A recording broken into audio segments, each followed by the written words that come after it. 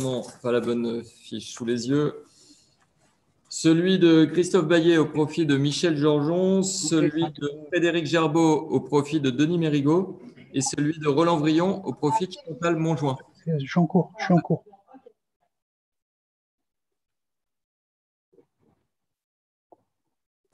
Donc voilà pour les pouvoirs. Sur la désignation des secrétaires de séance, je vous propose Alix Fruchon et euh, Christian Baron.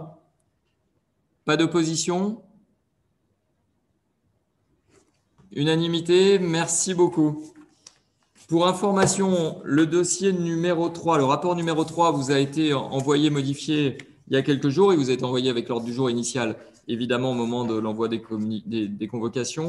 Il y a une petite euh, euh, erreur matérielle qui s'était glissée dedans, donc il a été modifié. Vous avez reçu une deuxième version du rapport numéro 3. C'est le, le seul point, euh, je dire un peu accessoire, que j'ai à vous signaler sur l'ordre du jour. Tout le reste est conforme à ce qui vous a été adressé. Premier point, donc à l'ordre du jour, l'approbation des procès-verbaux des séances des conseils communautaires du 15 juillet 2020 et du 1er octobre 2020. Je dois vous préciser que Maxime Gouru a envoyé euh, une annotation, enfin une, lettre euh, précisant quelques modifications sur ses propos, des modifications mineures qu'on prendra en compte dans la rédaction finale du procès verbal, donc du 1er octobre 2020. À part l'observation de Maxime Gouru, y a-t-il d'autres demandes d'intervention?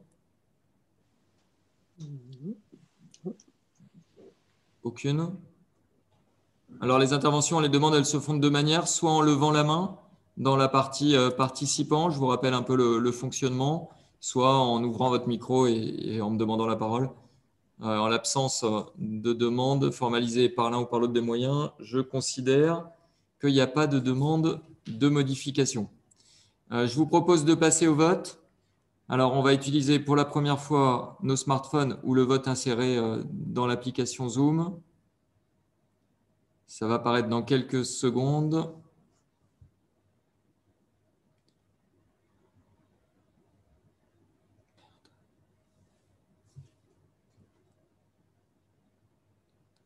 Faut que je coupe mon micro.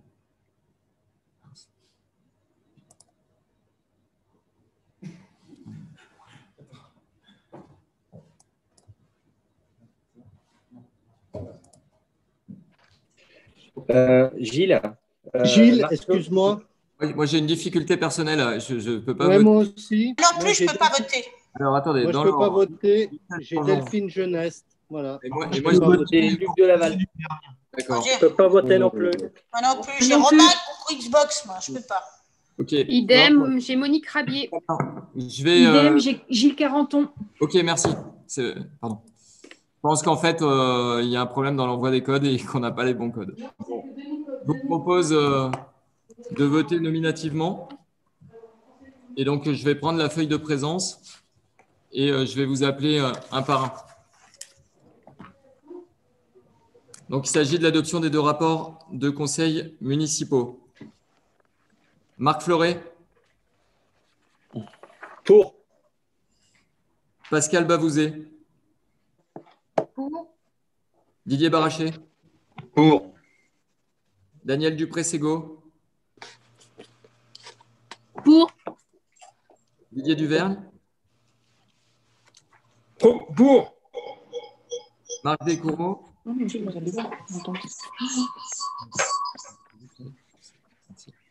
Là, pour, la première, je vais intégralement.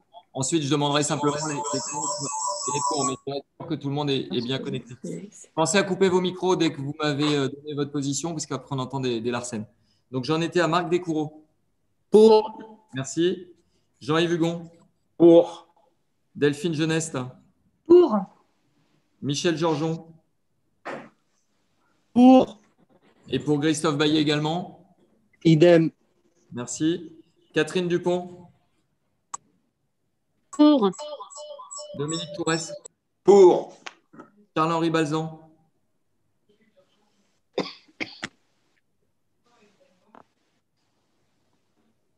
Alors Charles-Henri Balzan, on ne l'entend pas. Pour. Pour, merci. Tony Imbert Pour. Gilles Carenton pour Sabine Desmaisons. Pour Christine Daguet.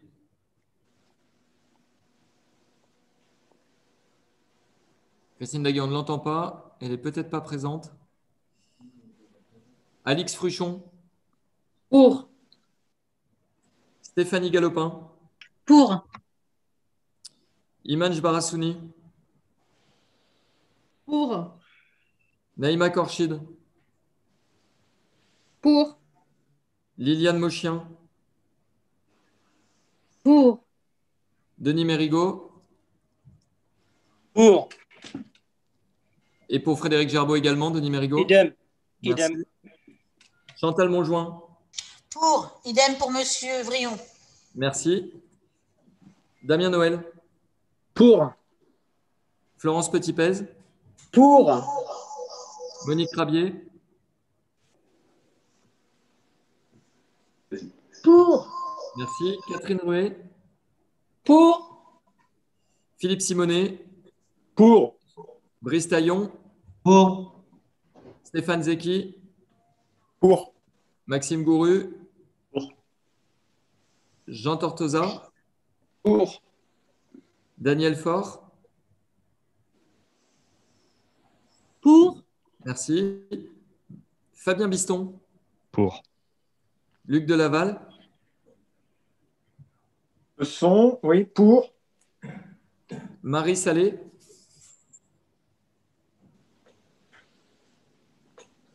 Pour.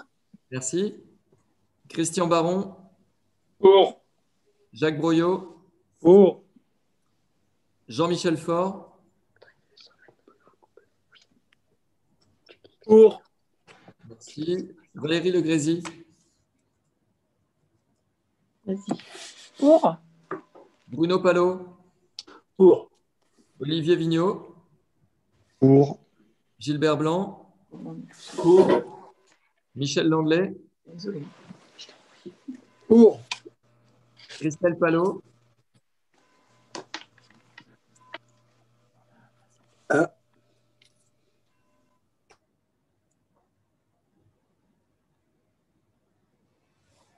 Pas de réponse. François Jolivet. Pour. Stéphanie Archambault. Non représentée, absente. Thierry Damien. Alors Thierry Damien ne l'entend pas, mais tout à l'heure j'avais vu son, j'avais vu qu'il était connecté. Ah oui, Pour. voilà. Merci Thierry. Dominique Ducrest.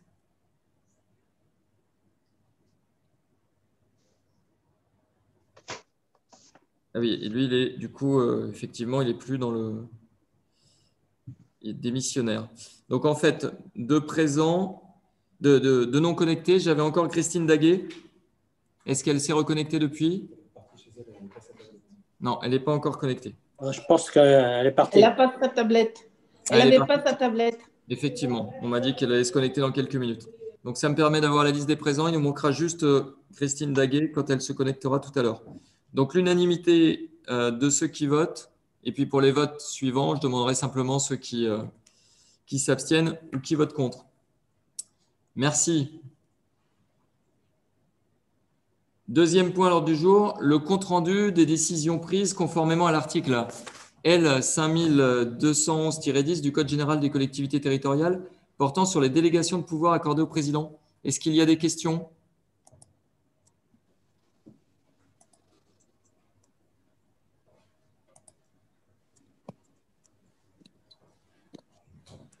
Pas de questions? J'en vois pas. Euh, si, Monsieur le Président. Ah, Bruno Palot. Excusez-moi, j'ai fait comme euh, Exact, simplement, ce n'était pas affiché. Et, fait- et j'ai trois mains levées au, à- au moment où je vous parle. J'ai Michel Georgeon, Michel Langlais, Bruno Palot. D'accord. Ah ben, je vais commencer. Merci, Monsieur le Président. Euh, simplement deux questions concernant les points 203 et 204. Euh, quel est le statut des agents qui sont concernés par ces apprentissages et ces formations?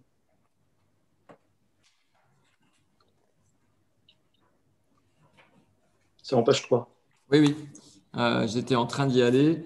Donc, le 204, euh, c'est des, des CAP. Donc, c'est des, des apprentis, en fait. hein. C'est les apprentis qui sont nos salariés au service espace vert pour, pour les deux, hein, deux apprentis du CFA.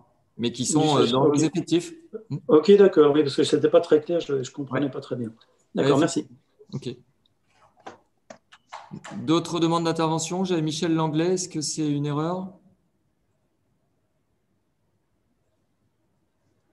Michel Le micro est Non, coupé. je n'ai pas levé la main. D'accord, parce qu'elle elle est restée euh, levée en fait. Il faudrait dans le D'accord. dans l'onglet participant, en bas, appuyer sur lever la main pour qu'elle se baisse. Merci. Pas d'autres demandes d'intervention? Vous me donnez acte de la communication de ces éléments. Merci beaucoup. Troisième point à l'ordre du jour, il s'agit de la modification des représentants au sein de la commission d'appel d'offres. Euh, je l'ai évoqué tout à l'heure.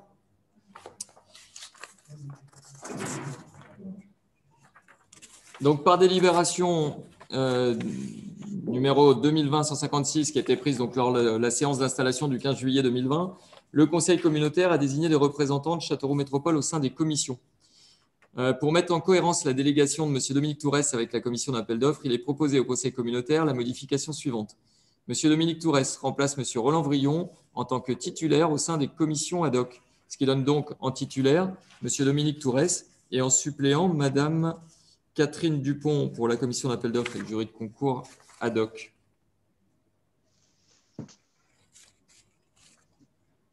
Est-ce qu'il y a des questions sur cette délibération? Pas de demande de prise de parole? On peut passer au vote. Est-ce qu'il y en a parmi vous qui souhaitent voter contre ce changement de représentant? Alors là, il, il- Gilles, je pense qu'on peut voter là parce qu'on a les noms, les bons noms qui sont enregistrés. Alors, pas encore tout le monde. Donc, dès, que tout le monde sera bien euh, sur le bon nom, je vous le dirai. Pour l'instant, effectivement, c'est en train de se régler, mais on n'en est pas encore tous euh, au point. Donc, euh, est-ce qu'il y en a qui sont contre cette désignation? Personne. Est-ce qu'il y en a qui s'abstiennent? Personne non plus. Unanimité pour la désignation. Je vous remercie. Dossier numéro 3. Mais numéro 4, pardon. On vient de faire le numéro 3. Le 4, c'est le débat d'orientation budgétaire. Je passe la parole à Philippe Simonet. Bien, eh bien, bonsoir à vous tous. Euh, donc, on est là ce soir pour débattre des orientations budgétaires de, l'année 2021 et, des années suivantes. Euh, vous, avez tous, vous avez eu communication du rapport d'orientation budgétaire. Euh, c'est un rapport assez complet et comme tous les rapports financiers, euh, il y a beaucoup de chiffres dans tous les sens et puis des tableaux qui, s'entrecroisent et c'est certainement un petit, peu, un petit peu rébarbatif à lire. Alors moi, ce que je vous propose ce soir, euh, c'est d'essayer d'être relativement assez concis, assez bref, et puis de mettre le point, d'attirer votre attention sur, les, sur les principaux points de ce rapport et donc sur les, uniquement sur les points à retenir. Il y en a quatre ou cinq. Euh, sur le premier point à retenir, euh, parce que ça, ça va influer sur nos, orientations, euh, bah, c'est tout simplement le, le, contexte économique très particulier dans lequel on est aujourd'hui. Le 1er janvier dernier, quand on s'est tous souhaité nos voeux, quand on s'est tous présenté nos voeux, on était loin d'imaginer qu'on allait vivre cette année un événement aussi inédit et aussi majeur que cette crise sanitaire, qui va avoir des incidences humaines et économiques euh, qui vont malheureusement euh, se poursuivre dans le temps. Euh, sur, le plan, sur le plan humain, très rapidement, ben, on peut parler d'un véritable drame, puisque euh, aujourd'hui en France, on est déjà à 47 000 morts à peu près. Euh, il faut prendre conscience que 47 000 morts, c'est une ville de la taille de Châteauroux, de, de, de l'ordre de grandeur de Châteauroux qui est rayée de la carte, donc c'est quand même énorme. Et puis, parmi, euh, parmi la très grande majorité de la population encore en vie, ben, on a une multitude de personnes euh, dans la détresse, dans la précarité économique, euh, dans la déprime ou, ou, tout simplement pour les, pour les plus âgés d'entre nous, dans, dans l'isolement affectif. Sur le plan économique, parce que c'est ce qui nous intéresse plus particulièrement ce soir, euh, moi, je, peux, je, pense qu'on peut dire qu'on peut parler d'un véritable tsunami économique. On a une récession qui est quand même sans précédent et qui est d'un niveau euh, encore jamais vu en, temps de paix. Euh, bon, bah, face à cette situation globale qui est extrêmement critique, on a, aujourd'hui, on assiste à un appauvrissement de l'ensemble des agents économiques. Et nous, Châteauroux Métropole, eh ben, on n'y coupe pas. Euh, on, va rentrer, on va rentrer comme tout le monde dans ce processus. Alors, sur l'année 2020, on n'aura pas de véritable incidence économique euh, parce qu'en en fait, on a, on a examiné un petit peu les choses. On aura très peu de dépenses qui vont être liées directement, on aura très peu de dépenses supplémentaires qui vont directement être liées à la gestion du Covid. Euh, et puis inversement, contrairement à ce qui est le cas pour la ville de Châteauroux, on aura peu de pertes de recettes.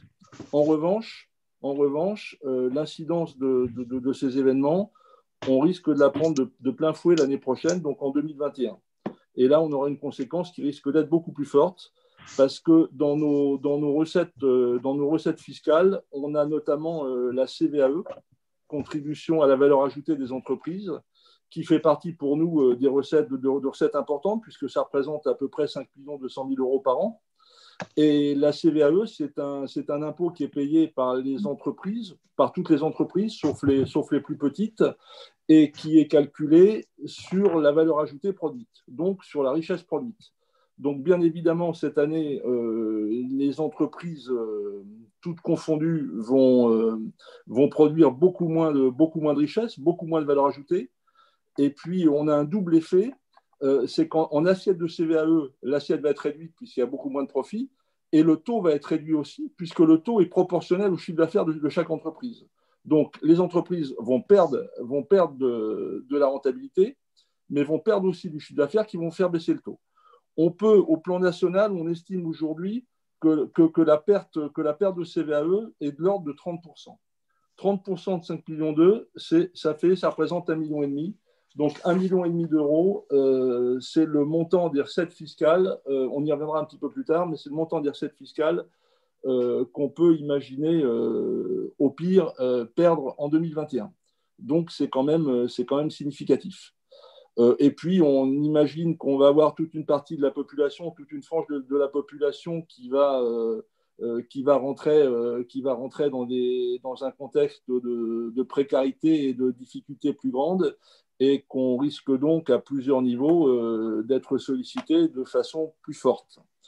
Donc voilà pour le premier point qu'il fallait retenir. Euh, le, deuxième point, le second point important qu'il y a lieu d'avoir en tête, euh, c'est qu'en dehors de, ce contexte économique euh, extrêmement défavorable, c'est le moins qu'on puisse dire, en interne, on aborde l'année 2021 avec une structure financière qui est très saine.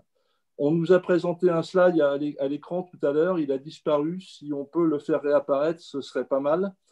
Euh, voilà, je ne sais pas si c'est très lisible, les chiffres sont petits. Euh, la situation financière de l'agglomération.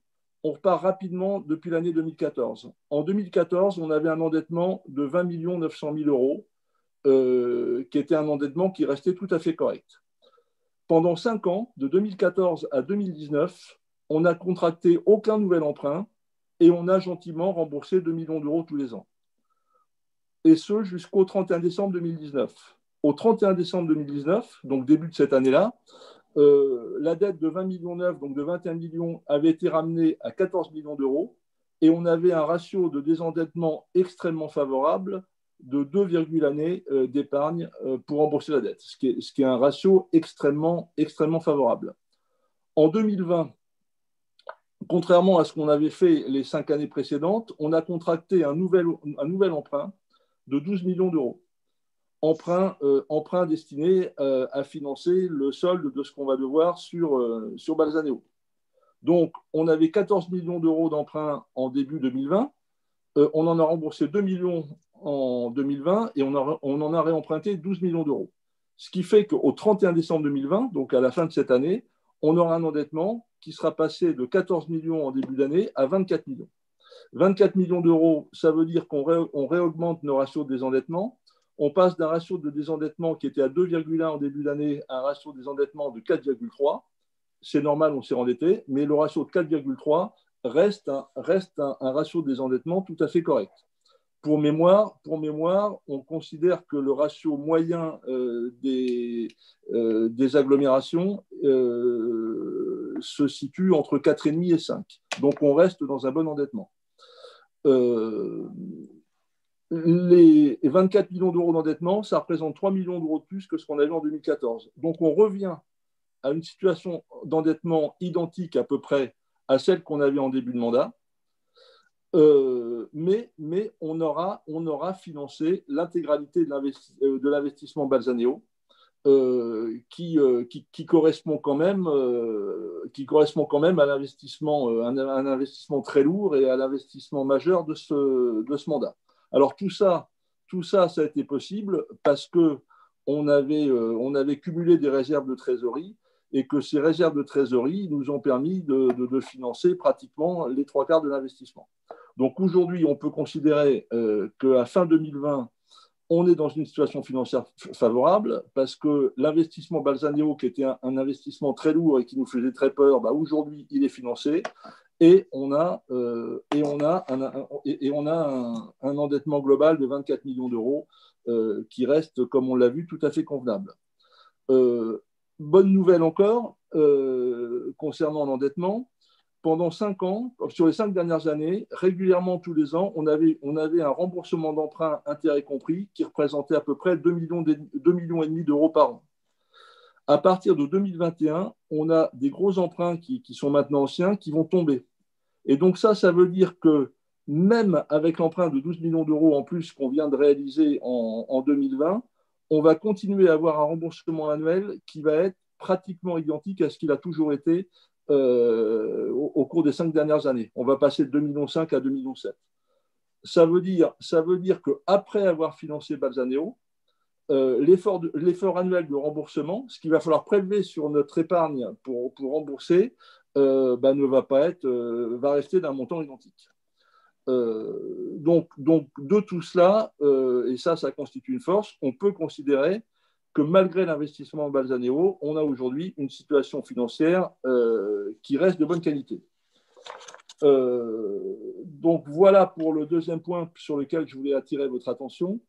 Euh, le troisième point important qu'il y a lieu de souligner, ce sont les principes qu'on a arrêtés dans le cadre de la définition de nos orientations budgétaires il y a deux principes qui, pour nous, sont absolument sacrés et qu'on tient à respecter. Le premier, c'est de ne pas augmenter les impôts locaux. Euh, et ça, euh, c'est fondamental parce que, surtout dans le contexte actuel où on a une partie importante de, nos habitants euh, qui, rencontrent de plus en plus des, des, difficultés financières, il est hors de question de les pénaliser plus par l'augmentation d'impôts.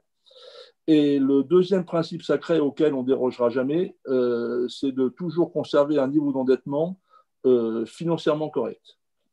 Pour nous, un niveau d'endettement financièrement correct, pardon, euh, ça, veut dire, respecter un ratio de désendettement qui n'excède pas 5 années d'épargne brute. Le quatrième point sur lequel je voulais attirer votre attention, euh, c'est l'évolution euh, de notre épargne. Là, en revanche, on est, dans une situation qui est plus défavorable parce que depuis quelques années, on assiste progressivement euh, à, une, érosion de notre épargne de, notre épargne de gestion. Jusqu'à 2017, de façon assez régulière, chaque année, on réalisait euh, une épargne de gestion euh, légèrement supérieure à 10 millions d'euros. Depuis 2018-2019, euh, cette épargne de gestion s'est régulièrement érodée et de 10 millions d'euros, on est passé à une épargne de gestion de 7 millions d'euros.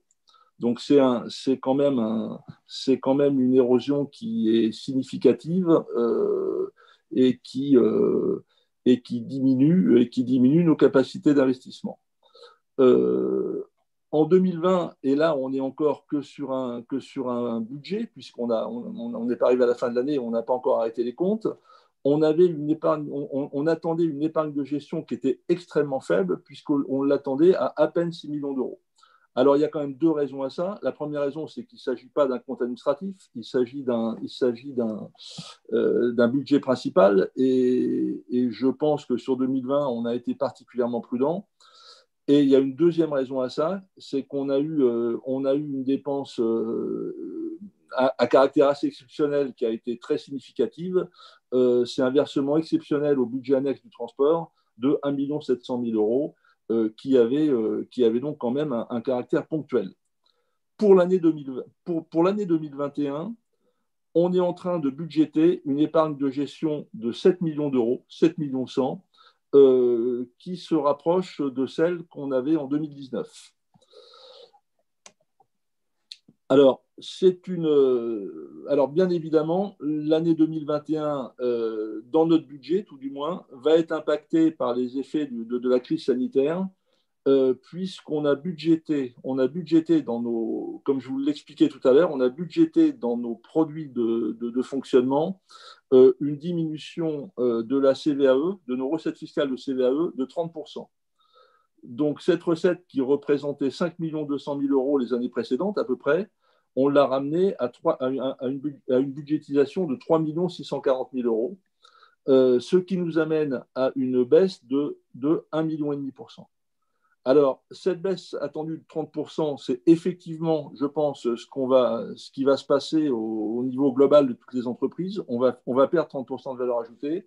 Ceci étant dit, euh, je reconnais que cette, euh, cette décision budgétaire, est, extrêmement prudente parce que ça veut dire ça voudrait dire qu'on n'aura aucune compensation de la part de l'État.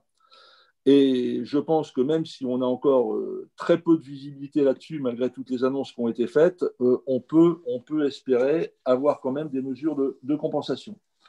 Euh, sur le budget de fonctionnement 2021, tel qu'on l'a construit et tel qu'on va vous le présenter lors du prochain Conseil communautaire, on a deux nouveautés importantes qui viennent de Grevet.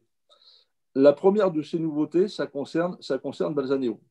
On arrive à la fin, du, à la, fin de la construction, euh, ça va être inauguré au printemps, et, euh, et, ce complexe aquatique euh, va rentrer en exploitation dans le courant de l'année 2021.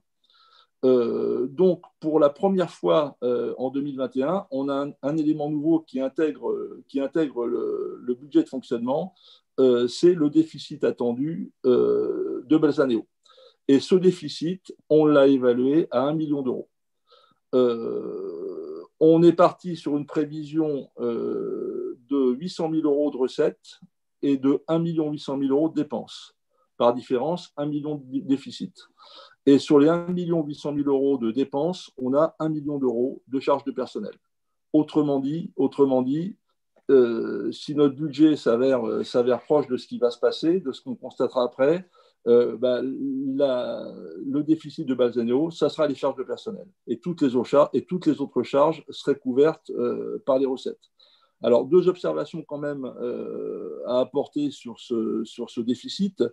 La première, c'est que quand on a évalué des charges de fonctionnement de Balzaneo de 1 800 000 euros ces, charges-là, aujourd'hui, on les connaît avec une, précision qui, est quand même assez grande et on a une marge d'incertitude sur les, sur les dépenses de fonctionnement de Balzaneo qu'on peut, qu'on peut, qu'on peut considérer comme étant faibles. Euh, en revanche, concernant les recettes, euh, c'est un peu plus la bouteille à l'encre. On a, on a évalué ces 800 000 euros-là euh, en, se, en se référant à quelques exemples qu'on avait, euh, mais il faut reconnaître qu'on euh, a une marge d'incertitude sur l'évaluation de ces recettes qui est beaucoup plus grande que celle qu'on peut avoir sur les dépenses. Et euh, sur les recettes, on peut avoir des, quelques surprises, bonnes ou mauvaises. Le, deuxième point que je voulais souligner sur le, sur le déficit de Balzaneo, c'est que je pense que ce déficit sera particulièrement important pour, pour l'année 2021, donc pour la première année d'exploitation, euh, pour des raisons de calendrier. Parce qu'on va, on va inaugurer et ouvrir euh, Balzaneo en mars-avril, dans ces eaux-là, je crois. Ça veut dire qu'on va avoir des dépenses de personnel plein pot dès le 1er mars et, des dépenses de fonctionnement autres que dépenses de, de, de, personnel qui vont arriver euh, un mois plus tard, vers le mois d'avril. Et en termes de billetterie, ça sera totalement ouvert au public à partir du 1er juillet. Autrement dit, on va avoir que 6 mois de recettes et on aura 9 à 10 mois de charges en face. Donc, tenant compte de ça, on peut espérer que ça sera mieux les années suivantes. Donc, la première nouveauté dans le budget de fonctionnement 2021, c'est l'intégration de Balzaneo. Le deuxième élément important qu'on intègre et qui là va avoir un effet complètement inverse, c'est l'augmentation du versement transport que vous aviez voté lors d'un conseil communautaire précédent. on avait la possibilité d'augmenter le versement de transport. On l'a fait, ça a été décidé par, par notre Assemblée il y a maintenant un mois ou deux. et je pense qu'il était, important de le faire parce que au cours de toutes ces dernières années, les, prestations de transport urbain avaient été très fortement développées et quantitativement et qualitativement et euh, ça avait entraîné une augmentation très forte de, notre budget de transport euh, qu'on commençait à avoir du mal à, financer. Euh, ce budget-là était d'autant plus lourd que on, a des transports urbains qui sont gratuits. Et là, je, pense qu'il faut qu'on rende hommage à Jean-François Maillet, puisque c'est lui qui, avait instituer cette gratuité et qui, en avait été un pionnier. Je pense qu'on a été un exemple qui maintenant est suivi par euh, beaucoup d'autres villes. Donc l'augmentation du versement transport, euh, ça sera euh, une ressource supplémentaire, une ressource de fonctionnement supplémentaire qu'on évalue aujourd'hui à 1 200 000 euros. Alors, Balzaneo et les transports urbains sont deux choses totalement différentes l'une de l'autre qui n'ont rien à voir ensemble mais le, hasard des calendriers fait qu'elles arrivent en même temps sur la même année et qu'on peut considérer que le déficit de fonctionnement de Balzaneo, par rapport à ce qui se passait les années précédentes, euh, sera financé euh, par notre décision d'avoir augmenté le versement transport. Donc voilà pour le, quatrième point que je, voulais vous souligner.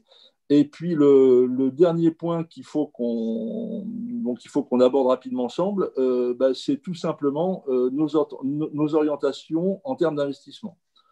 Pour, pour l'année 2021, euh, on a budgété un montant total d'investissement de 15 300 000 euros, qui intègre 3 millions d'euros de subventions au budget d'investissement du transport dont on vient de parler. Euh, ce qui veut dire qu'en dépenses d'équipement, on a budgété un montant total de 12 200 000 euros.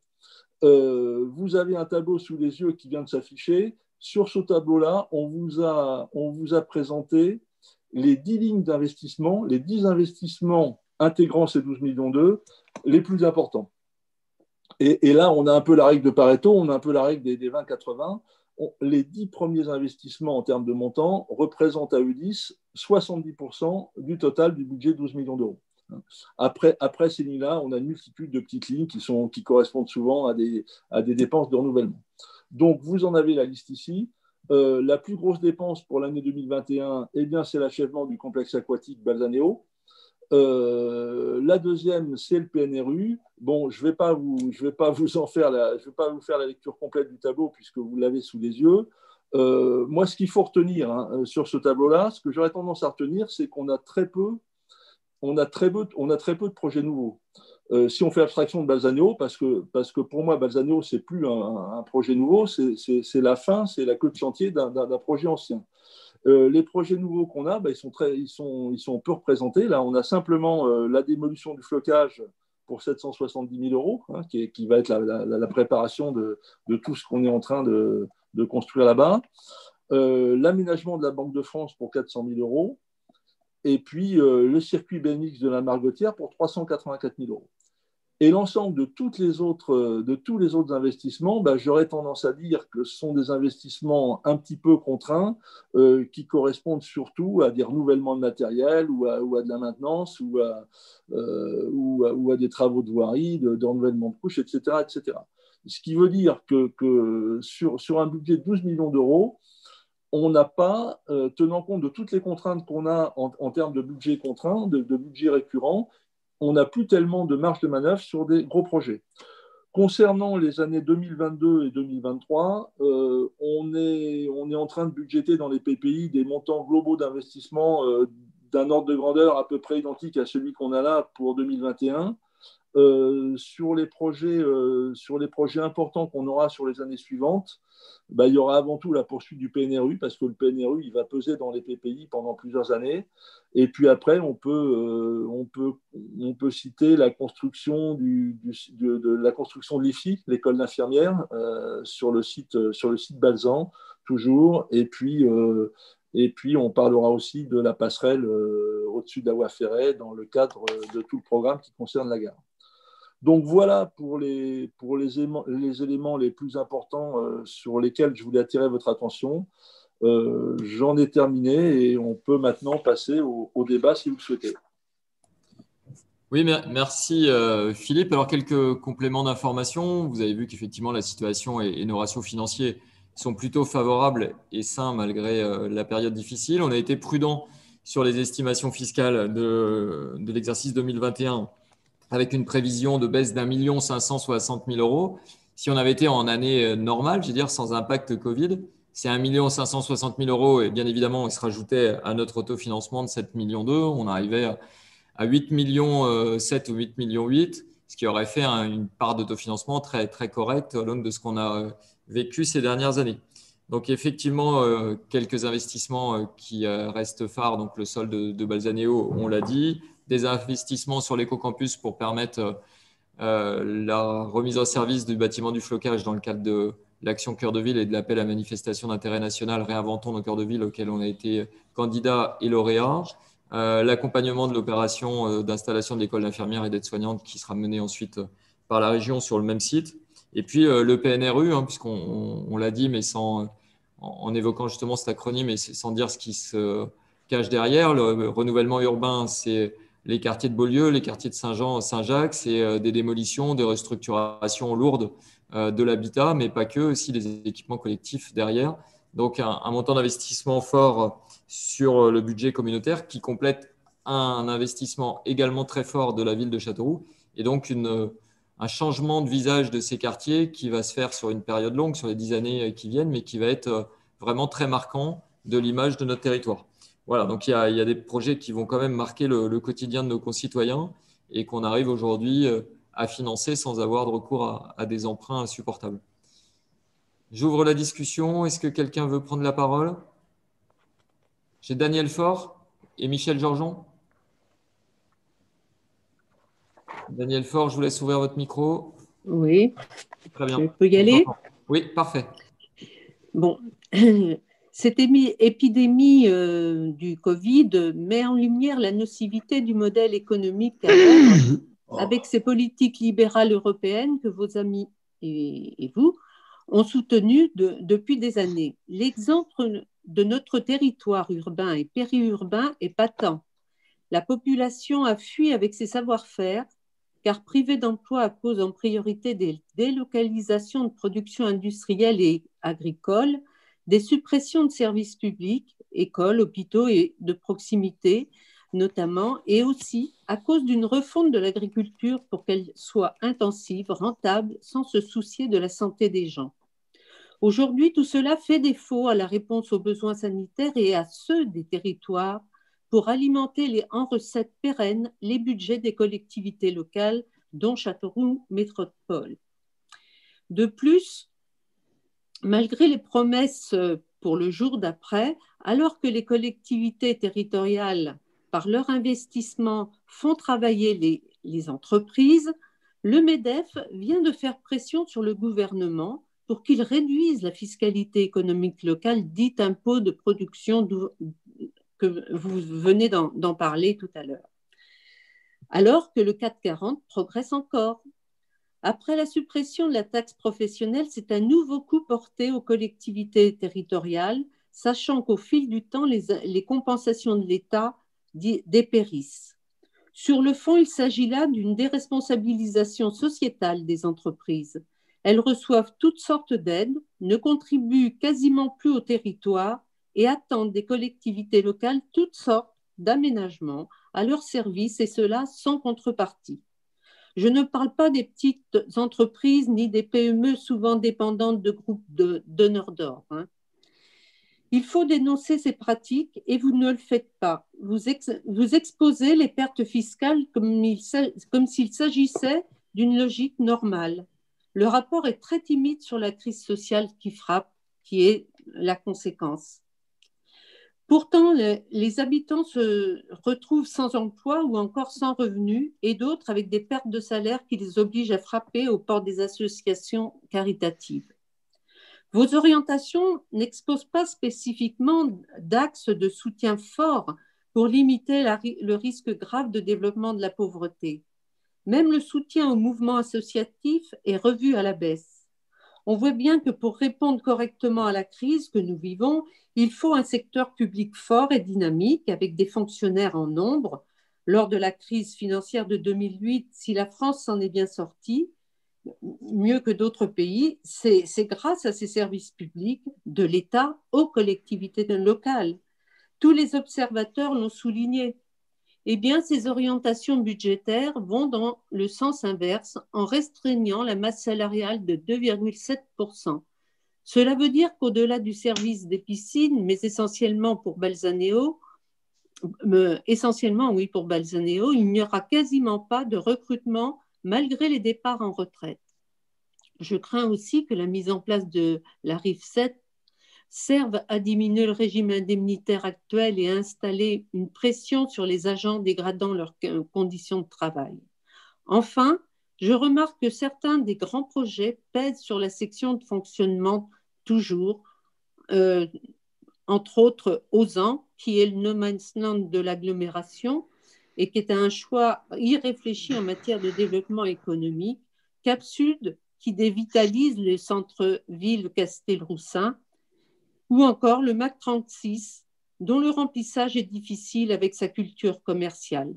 Il ne s'agit pas de construire de somptueux projets, ils doivent avant tout répondre aux besoins de la population, respecter l'environnement et être accessibles. Aussi, compte tenu de l'importance de l'investissement que représente le centre aquatique Balzaneo, il me semble nécessaire que soient prévus des tarifs qui prennent en considération les revenus des familles, voire envisage, envisager la gratuité dans, certaines situations. Enfin, j'ai bien noté que l'agglomération allait prendre en charge une partie des services du CCAS Ville mais vu l'amplification de la pauvreté consécutive à la crise sanitaire, j'espère que vous envisagez de maintenir les crédits alloués depuis quelques années.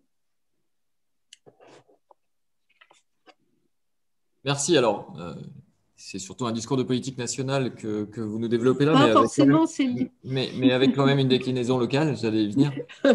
Euh, pour que nos auditeurs, téléspectateurs, enfin ceux qui nous suivent et qui ne sont pas forcément au fait euh, des compétences euh, des collectivités euh, ne se perdent pas, vous précisez que la compétence sociale, elle relève des communes, tout comme le soutien aux associations que vous évoquiez, et que donc dans le budget de l'agglomération, forcément, on ne trouve pas d'action ou de financement par rapport à ces missions-là. le subventionnement du CCAS qui apparaît, c'est sur des missions qui sont entre guillemets, confié au CCS par l'agglomération, notamment tout ce qui est suivi, accueil euh, des gens du voyage. Et puis, on a mutualisé les services, mais c'est refacturé à la ville de Châteauroux derrière.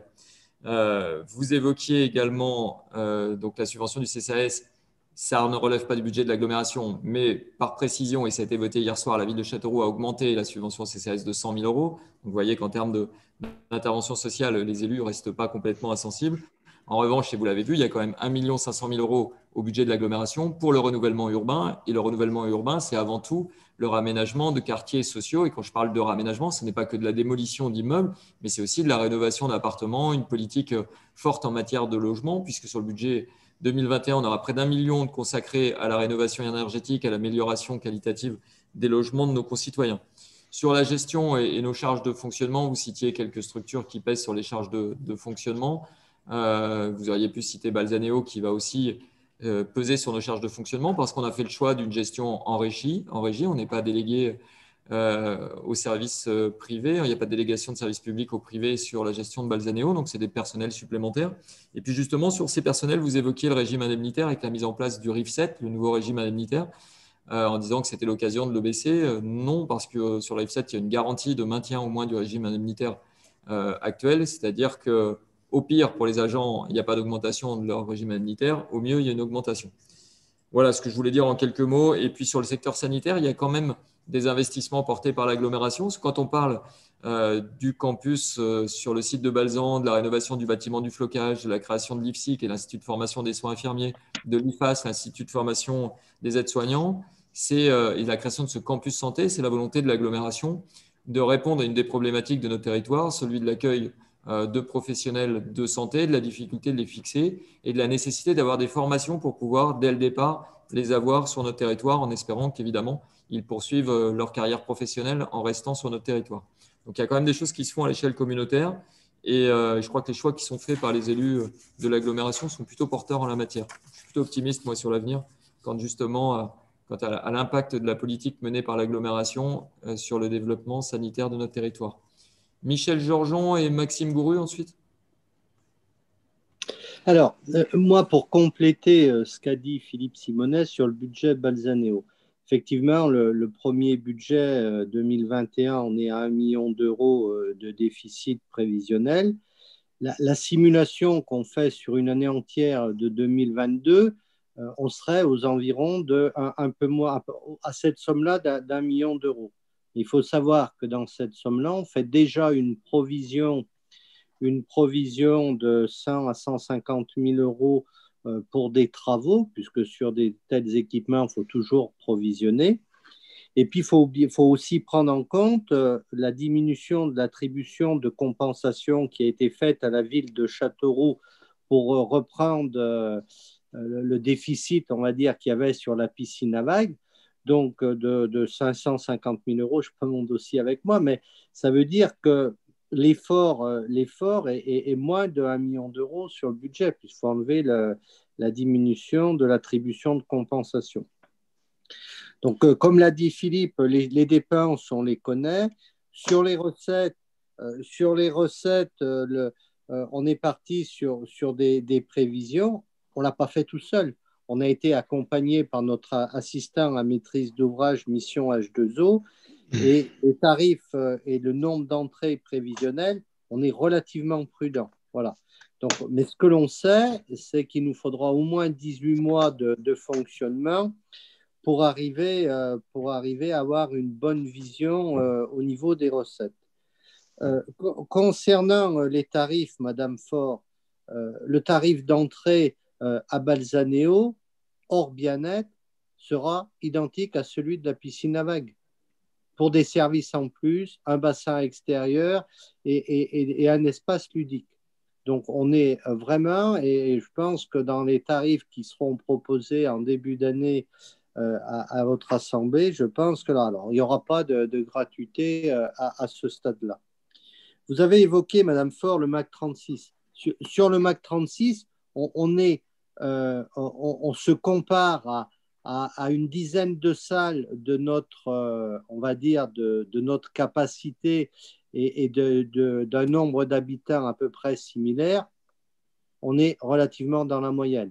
Je l'avais dit, on a lancé l'étude pour savoir si notre, notre gestion en régie est la plus adaptée. Euh, les premiers chiffres qui montrent, quand on se compare à des salles comme nous, eh ben, on est plutôt dans une bonne, une bonne gestion. Après, le nombre de spectacles, il ne faut pas rêver. Quand on en a une vingtaine par an, on n'en aura pas plus. Il n'y a pas une capacité à en avoir plus. Voilà. Voilà ce que je voulais dire. Merci pour ce complément d'information. Maxime Gouru Oui, mesdames et messieurs les conseillers, monsieur le président, les perspectives sombres qui nous sont dressées sont euh, évidemment semblables à celles que certains d'entre nous avons euh, déjà entendues hier dans le débat d'orientation budgétaire de Châteauroux, donc vous m'en excuserez. Euh, alors, que, alors même que nous sommes sur un autre périmètre, hein, l'agglomération et non plus la ville, ce sont les mêmes impératifs que vous fixez avec, avec en premier lieu la bonne maîtrise des ratios financiers. Bon, cela peut surprendre. En matière de recettes, la principale évolution négative serait due à la baisse des recettes fiscales et plus précisément des seules recettes fiscales issues des entreprises. Donc, cela me rassure hein, pour l'avenir des particuliers puisque les recettes fiscales qu'ils apporteront seront, elles, en légère augmentation. Tant mieux pour nous. Il fut un temps pas très éloigné, en 2009, où la fiscalité professionnelle abondait le budget des collectivités de l'agglomération à hauteur de 26 millions d'euros par an. Euh, aujourd'hui, nous sommes aux alentours de 15 millions d'euros par an, toutes taxes euh, confondues, et, ce sera à peu près la même chose en 2021 grâce au, versement mobilité augmenté. Alors, j'ai bien entendu qu'il n'y aurait pas cette année, comme les années précédentes, comme les années prochaines, d'augmentation d'un taux d'imposition professionnelle que peut choisir l'agglomération, mais il est bon néanmoins de garder ces ordres de grandeur en tête.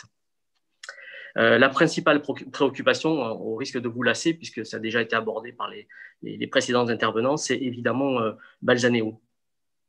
Donc, il y a une masse des coûts d'investissement qui a déjà été longuement évoquée. Alors, on a parlé, on nous parle voilà, de 30 millions d'euros lorsqu'il s'agit de fixer lorsqu'il s'agit de délibérer sur des avenants que nous prenons régulièrement. 40 millions d'euros selon les propos tenus en commission par certains conseillers, etc. 47 millions d'euros selon une estimation de la Chambre régionale des comptes. Bon, évidemment, tout est affaire de périmètre, mais il s'agit dans tous les cas de sommes conséquentes que l'agglomération aura payées. Et M. Simonet, vous l'avez bien rappelé, la trésorerie a un peu fondu. Euh, la nouveauté visible en 2021 sera le coût d'exploitation de cette installation et il nous en coûtera pour 1 million d'euros supplémentaires euh, en, supposant que les recettes seront bien au rendez-vous. Donc j'ai bien compris qu'il y avait beaucoup d'incertitudes, mais il serait appréciable néanmoins que vous puissiez aujourd'hui ou quand vous le pourrez nous préciser ce qu'étaient ou ce que sont, ce qu'étaient les recettes euh, et de la piscine à vagues et de Firmin Baptiste ces dernières années pour euh, se donner un ordre de, comparaison. Alors il n'y a pas de budget annexe pour Balzaneo et c'est dommage vu la complexité de l'opération et sa taille. Euh, je suggère néanmoins que soit établie et mis à jour une synthèse euh, détaillée des flux économiques passés et à venir de cette opération pour une plus grande transparence et pour l'information euh, des, conseillers. le dernier point sur lequel je souhaitais intervenir est le plan pluriannuel d'investissement dont on nous annonçait qu'il avait déjà été arbitré pour 2021. Alors j'allais protester, euh, bon, j'ai noté néanmoins qu'il y a beaucoup plus d'informations dans la présentation qui nous a été faite que, que ce qui figure dans le rapport, donc je, je vous en remercie, euh, mais, mais, je trouve qu'il serait appréciable d'avoir euh, voilà, ces éléments-là de manière systématique lorsqu'on parle de débat d'orientation budgétaire. Je vous remercie. Merci. Juste un point sur lequel je voulais répondre. Vous, avez dit que Balzaneo a coûté un million supplémentaire. Non, comme l'a expliqué Michel Georgeon tout à l'heure, euh, un million, c'est le déficit d'exploitation, mais duquel on doit retirer l'attribution de compensation de la ville de Châteauroux qui est en diminution de 550 000 euros. Donc, on est à un solde net de 450 000 euros et avec euh, des prévisions d'entrée qu'on a fait vraiment minimalistes. Donc, euh, s'il y a des nouvelles sur l'année 2021, ce sera plutôt des bonnes nouvelles et encore une réduction de ce coût-là. Et vous avez vu que 400 000 euros, c'est un peu plus que, que le MAC 36, mais ce n'est pas beaucoup plus. Et du coup, on est dans des sommes qui sont raisonnables au regard des équipements qu'on a construits euh, par le passé. Voilà, pour une vocation, une utilisation qui va toucher euh, énormément de monde. Euh, Maxime Gourou et Daniel Faure, tout comme vous aviez demandé la main, je vous demanderai de faire la, manip inverse pour abaisser la main. Et sinon, je pense qu'il n'y a pas d'autres demandes d'intervention. Est-ce que quelqu'un veut s'exprimer? Je dois vous préciser que par rapport à l'appel que j'ai fait tout à l'heure, euh, Christine Daguet est désormais connectée, tout comme Christelle Palot. Donc on est euh, au complet de ceux qui devaient être présents ce soir. S'agissant d'un débat d'orientation budgétaire, il n'y a pas de vote, c'est une simple euh, communication. Et je vous propose qu'on passe au rapport suivant, le dossier numéro 5, qui concerne le rapport annuel du schéma de mutualisation. Philippe Simonet.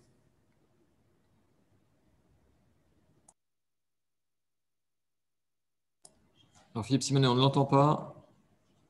Le micro doit être coupé. Oui, pardon. Oui, j'étais donc en train de dire que tout simplement, il vous est présenté le rapport annuel 2020 du schéma de mutualisation pour la cinquième année euh, qu'il vous est proposé de valider. Voilà, mutualisation, je fais un petit, un petit raccourci, hein, euh, mise en place dès le lendemain de la précédente élection sur le, mandat de 2014-2020, donc depuis le 1er janvier 2015, avec euh, un élément quantifiable, hein, c'est que dans le périmètre ville et agglomération dont le fonctionnement ont été jumelés, donc mutualisés, on a euh, réussi à faire des économies dans l'équivalent de 100 équivalents temps plein, de 100 équivalents temps plein. donc aujourd'hui, en termes d'effectifs ville et agglomération, on est 100 de moins qu'en 2014 pour des missions qui sont équivalentes, voire un peu supérieures. Donc, euh, quand certains disent on ne voit pas bien les effets de la mutualisation, ça, c'est clairement un des effets, euh, en sachant que par le passé, au moins sur la partie euh, ville de Châteauroux, les effectifs avaient été réduits de 250 personnes, et que donc le travail avait déjà été fait, on ne partait pas de zéro.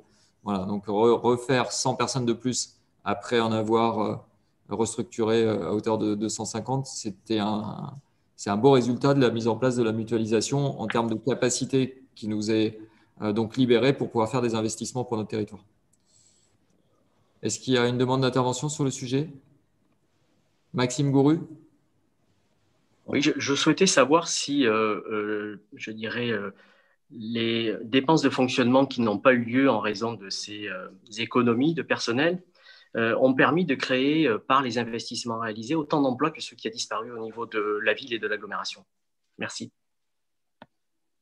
Alors, ça, ça, nous a tout au moins permis de, continuer à investir et forcément, nos investissements sont productifs d'emplois dans le secteur privé. Quand on, mène des opérations comme un chantier euh, comme celui de la Cité du numérique, par exemple, un peu plus de 7 millions d'euros, euh, comme euh, les sommes qu'on consacre à renouveler euh, notre flotte de bus, à construire un dépôt de bus, à construire un centre aquatique, c'est du travail donné aux entreprises en quantité vraisemblablement. Aujourd'hui, si vous allez sur le chantier de Balzaneo, il y a 80, un peu plus de 80 salariés.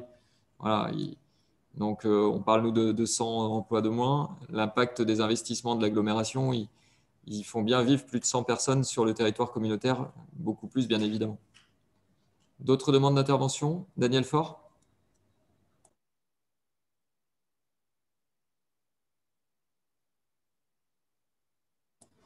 Daniel voilà, c'est bon. C'est bon. oui, alors ce rapport montre la poursuite logique de la mutualisation avec une concentration de plus en plus forte des services de la ville de Châteauroux sur l'agglomération. Progressivement, les compétences des communes euh, s'effacent. Il s'agit d'une centralisation des décisions politiques où, qu'on le veuille ou non, la ville-centre détient un pouvoir assez considérable.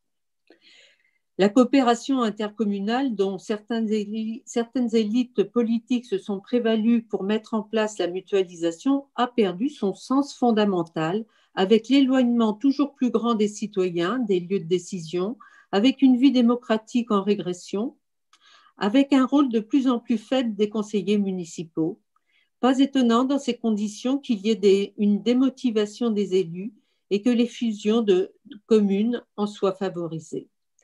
Ce rapport 2020 est empreint de ce mouvement et il est loin d'être évident que le tout numérique corrige ces aspects.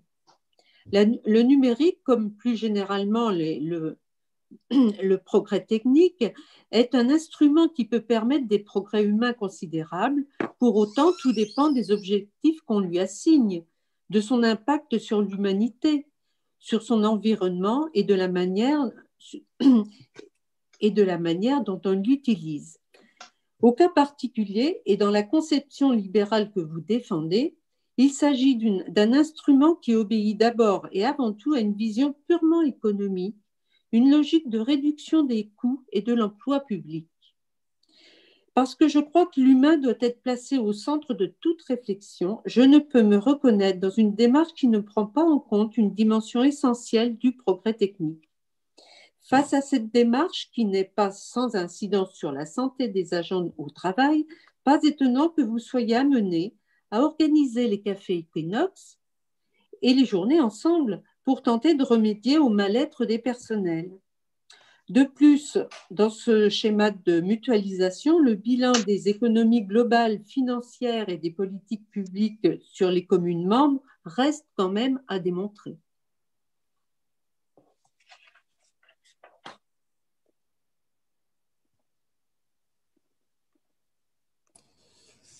Merci. Alors, on a la chance, d'avoir une agglomération qui est à taille humaine. Vous parliez d'éloignement tout à l'heure des centres de décision par rapport à la population.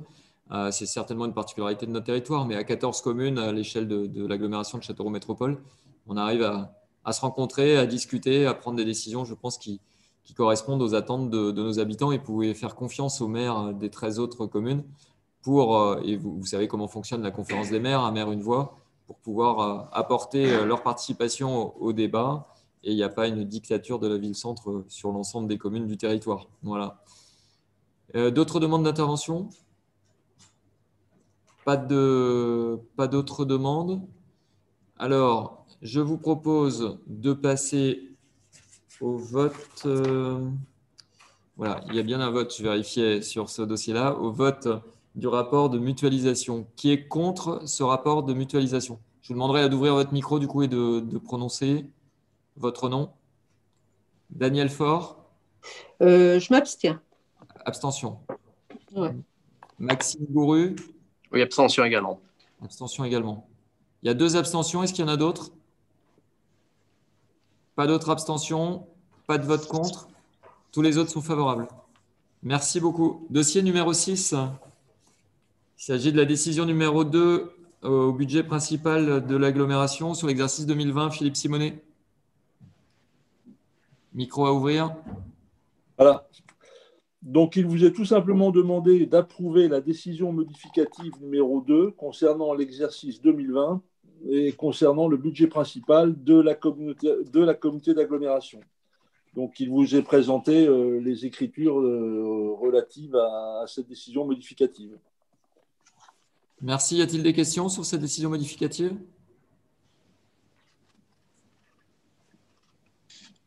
Euh, J'ai une main levée pour Maxime Gouru. Oui, je, je, souhaitais juste une précision sur, euh, alors sur le chapitre 67 dans les dépenses de fonctionnement, qui est une subvention exceptionnelle d'un montant de 500 000 euros. De quoi s'agit-il? Enfin, c'est pas, c'est pas euh, ça. Attendez, je vous demande une seconde. Euh, je, euh, c'est pas, c'est pas une subvention. Euh, c'est un, enfin, c'est, un apport au budget de, au budget de transport. Voilà, du budget de transport à partir duquel on, on achète les bus. Hein, vous savez qu'on est propriétaire de nos bus et que notre délégataire fait que, que les exploiter. C'est un mouvement entre deux budgets internes. Ces 500 000 euros-là, M. Gouru, vous allez les retrouver un petit peu plus tard dans une, dans une décision euh, qu'on va voir tout à l'heure qui concerne une décision modificative pour le, bah justement concernant le budget annexe transport. Euh, il s'agit en fait d'une subvention d'investissement, on va le voir tout à l'heure, qui, euh, qui a permis le, le financement d'achat de bus. D'autres questions? Pas d'autres questions? Je propose qu'on passe au vote. Est-ce qu'il y a des votes contre? Je n'en vois pas. Des abstentions? Oui. Daniel Faure? Oui. Une abstention? Oui. Je répète, c'est pour Maxime Gourou, donc comme il ne le prend pas, une seule, une seule abstention. Tous les autres sont favorables. Merci. Dossier numéro 7. Il s'agit d'une décision modificative numéro 2 concernant le budget annexe eau potable de l'agglomération Philippe Simonet. Le micro. Oui, bah, je, crois, je crois que tu as déjà tout dit sur la présentation de cette, euh, de cette décision. Euh, on remarquera que les écritures qui sont présentées sont des écritures de régularisation qui portent sur des montants euh, non significatifs. Pas d'opposition, pas d'abstention? Unanimité?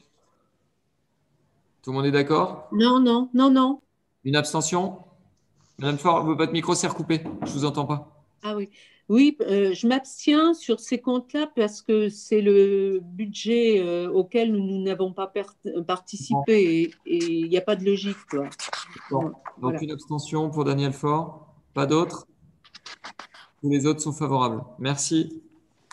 Dossier numéro 8, euh, décision modificative sur le budget assainissement. Philippe Simonet. Donc la, donc la même chose que la, que, que la décision précédente, c'est une décision modificative sur l'exercice 2020, pardon, mais cette fois-ci, elle concerne le budget annexe assainissement. Et on est toujours sur des montants très peu significatifs, on parle de 192 euros. Effectivement. Une abstention de Daniel Faure, tous les autres oui. sont favorables? Pas d'opposition pas Merci. Dossier numéro 9, euh, décision modificative sur le budget transport, Philippe Simonet? Alors, cette fois-ci, c'est toujours, une décision, c'est toujours une décision modificative, mais, mais qui cette fois-ci concerne le budget transport. On, et cette décision-là va permettre de répondre à la, à la question de M. Gouru de tout à l'heure. On retrouve la subvention de 500 000 euros qu'on a accordée euh, et on s'aperçoit qu'elle a été destinée à l'acquisition de, de matériel. Ça répond à la question de Maxime Gouru de tout à l'heure. Euh, une abstention, j'imagine, de Daniel Faure. Et les autres sont favorables? Pas de vote contre Pas d'autres abstentions? Merci. Dossier numéro 10. Décision modificative numéro 2 sur le budget de la pépinière d'entreprise. Philippe Ben voilà. Euh, donc, c'est toujours une décision numéro 2 sur la pépinière, sur le budget annexe de la pépinière d'entreprise. Et, là aussi, ça porte sur des, régularisations de charges et ça porte sur des montants euh, relativement peu significatifs. puisqu'on est sur une écriture totale de 2700 euros. Merci. Une abstention.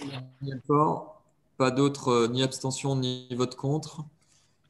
Unanimité des autres. Merci. Dossier numéro 11.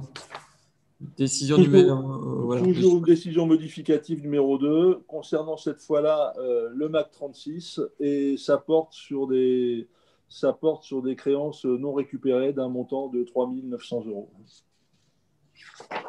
Une abstention de Daniel Faure. Les autres favorables?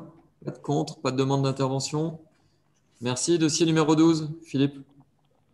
Bah, toujours une, décision modificative qui concerne cette fois-là le budget annexe euh, de la ZA de Cap Sud euh, et qui concerne, une, qui concerne une vente de terrain.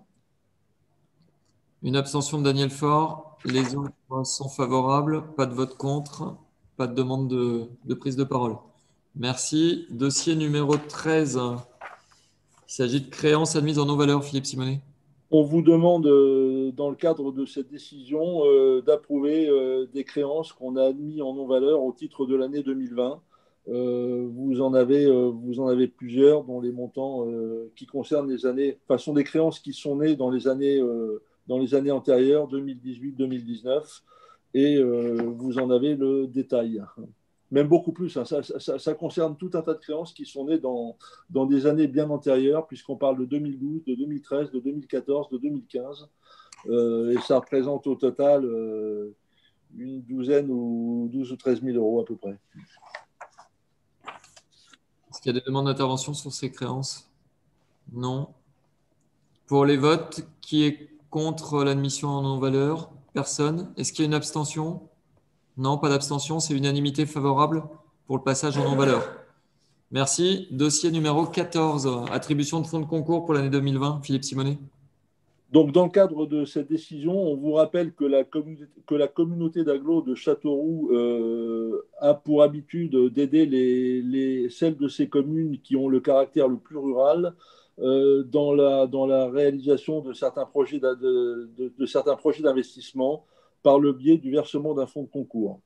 On vous rappelle que sont éligibles à ces fonds de concours les communes euh, qui ont moins de, moins de 1500 habitants euh, et, euh, et, que ça leur permet de, financer jusqu'à 50% du montant. Et que cette aide et ce fonds de concours est plafonné à 50% euh, du montant de l'investissement qu'elles ont prévu on vous, dit que, ce fonds de concours attribué, il est d'un montant total de 62 220 euros.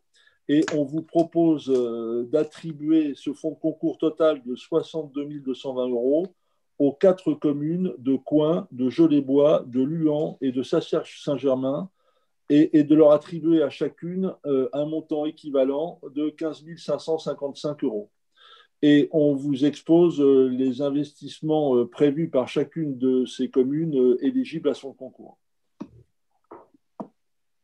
Merci pour cette présentation. Est-ce que ça amène des discussions? Oui, oui. J'ai levé la main si je peux intervenir. Euh, oui, je, je, voulais en fait savoir euh, si ce montant de, de, fonds de concours de 62 000 euros était le même chaque année depuis euh, 2018 euh, et s'il était considéré comme suffisant par, euh, par les communes rurales qui, qui font appel, hein, puisque malgré tout, euh, au regard des investissements engagés, 62 000 euros, ça ne fait pas un gros pourcentage, somme toute. Alors effectivement, la somme, elle est, elle est fixe hein, depuis, euh, depuis la création des fonds de concours, en fait. Cette subvention, elle s'additionne euh, aux autres susceptibles d'être mobilisés par les communes, hein, notamment le fonds d'action rurale. On a un fonctionnement qui, peut être assez semblable. Le fonds d'action rurale conduit, porté par le département. Voilà, après, moi, je suis mal placé pour répondre, pour dire si c'est suffisant ou pas. Il faudrait demander aux communes concernées, aux maires concernés, s'il y en a qui veulent s'exprimer. Mais on a toujours fonctionné de cette manière-là. Didier Duverne?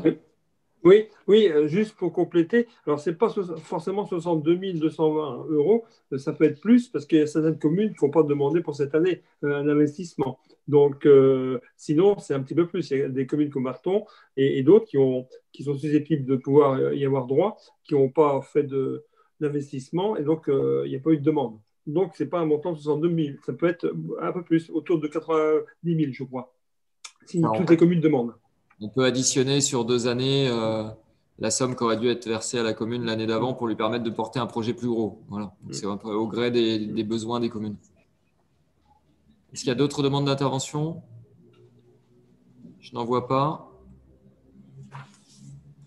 On peut passer au vote. Est-ce qu'il y a des votes contre l'attribution de ces fonds de concours?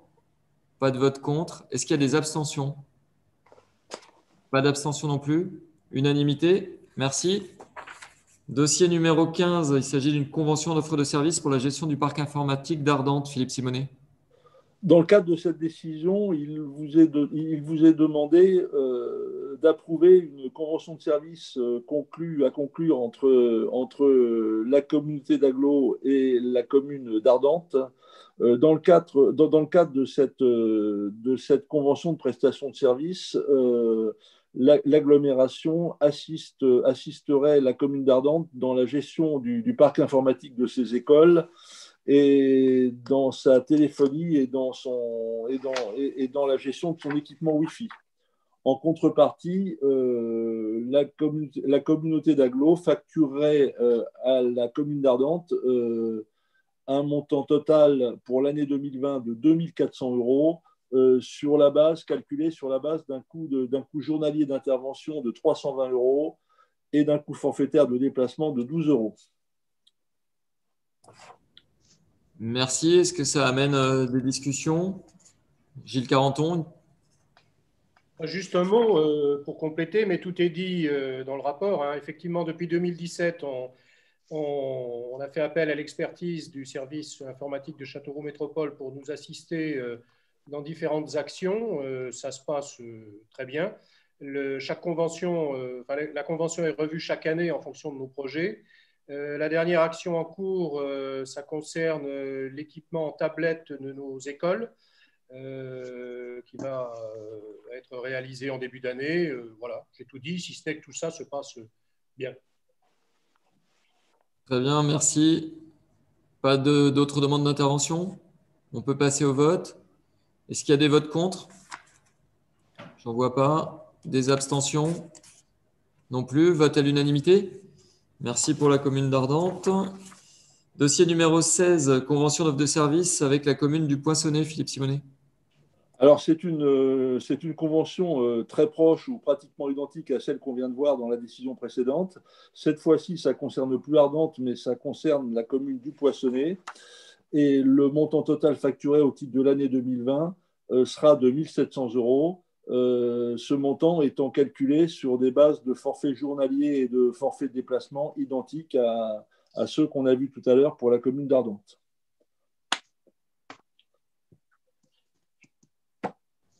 Merci. Daniel Dupré-Ségo Oui, comme pour la commune d'Ardente, euh, nous travaillons avec Châteauroux Métropole depuis plusieurs années et nous sommes satisfaits des prestations. Donc, euh, on a reconduit donc euh, cette convention. Merci beaucoup. S'il n'y a pas d'autres euh, demandes de prise de parole, je vous propose de passer au vote. Est-ce qu'il y a des votes contre? Je n'en vois pas. Des abstentions? J'avais demandé, j'avais levé la main. Ah, pardon, je n'avais pas l'affichage. Jean-Yves Hugon. Oui, simplement pour, euh, pour remercier le service DSI de, de notre, de notre ville, de Châteauroux, qui fait un travail remarquable déjà avec les, avec les écoles de Châteauroux. C'est un, c'est un travail assez lourd de, de, maintenance du parc informatique. Donc, euh, je comprends très bien que, que nos amis d'Ardente et du Poinçonnet puissent en, bénéficier. Euh, voilà, pour, vraiment pour remercier le service.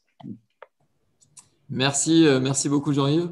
Pas de vote contre, pas d'abstention, unanimité. Merci. Dossier euh, numéro 17, rapport d'activité et de développement durable de la communauté d'agglomération et de la ville de Châteauroux, Philippe Simonet. Alors cette fois-ci, il s'agit d'un dossier qu'on n'aura pas voté, puisqu'il s'agit simplement de demander au, au, conseil communautaire de prendre connaissance du rapport d'activité et de développement durable de la communauté d'agglomération de Châteauroux Métropole et de la ville de Châteauroux pour l'année 2019. Vous avez pu remarquer que c'est un document qui est très fourni, hein, avec euh, beaucoup de, beaucoup de données, beaucoup d'informations. Euh, c'est une mine, une mine d'informations et qui sera diffusée ensuite à l'ensemble euh, évidemment des communes et qui devra être présentée à vos conseils municipaux respectifs. Est-ce qu'il y a des demandes d'intervention?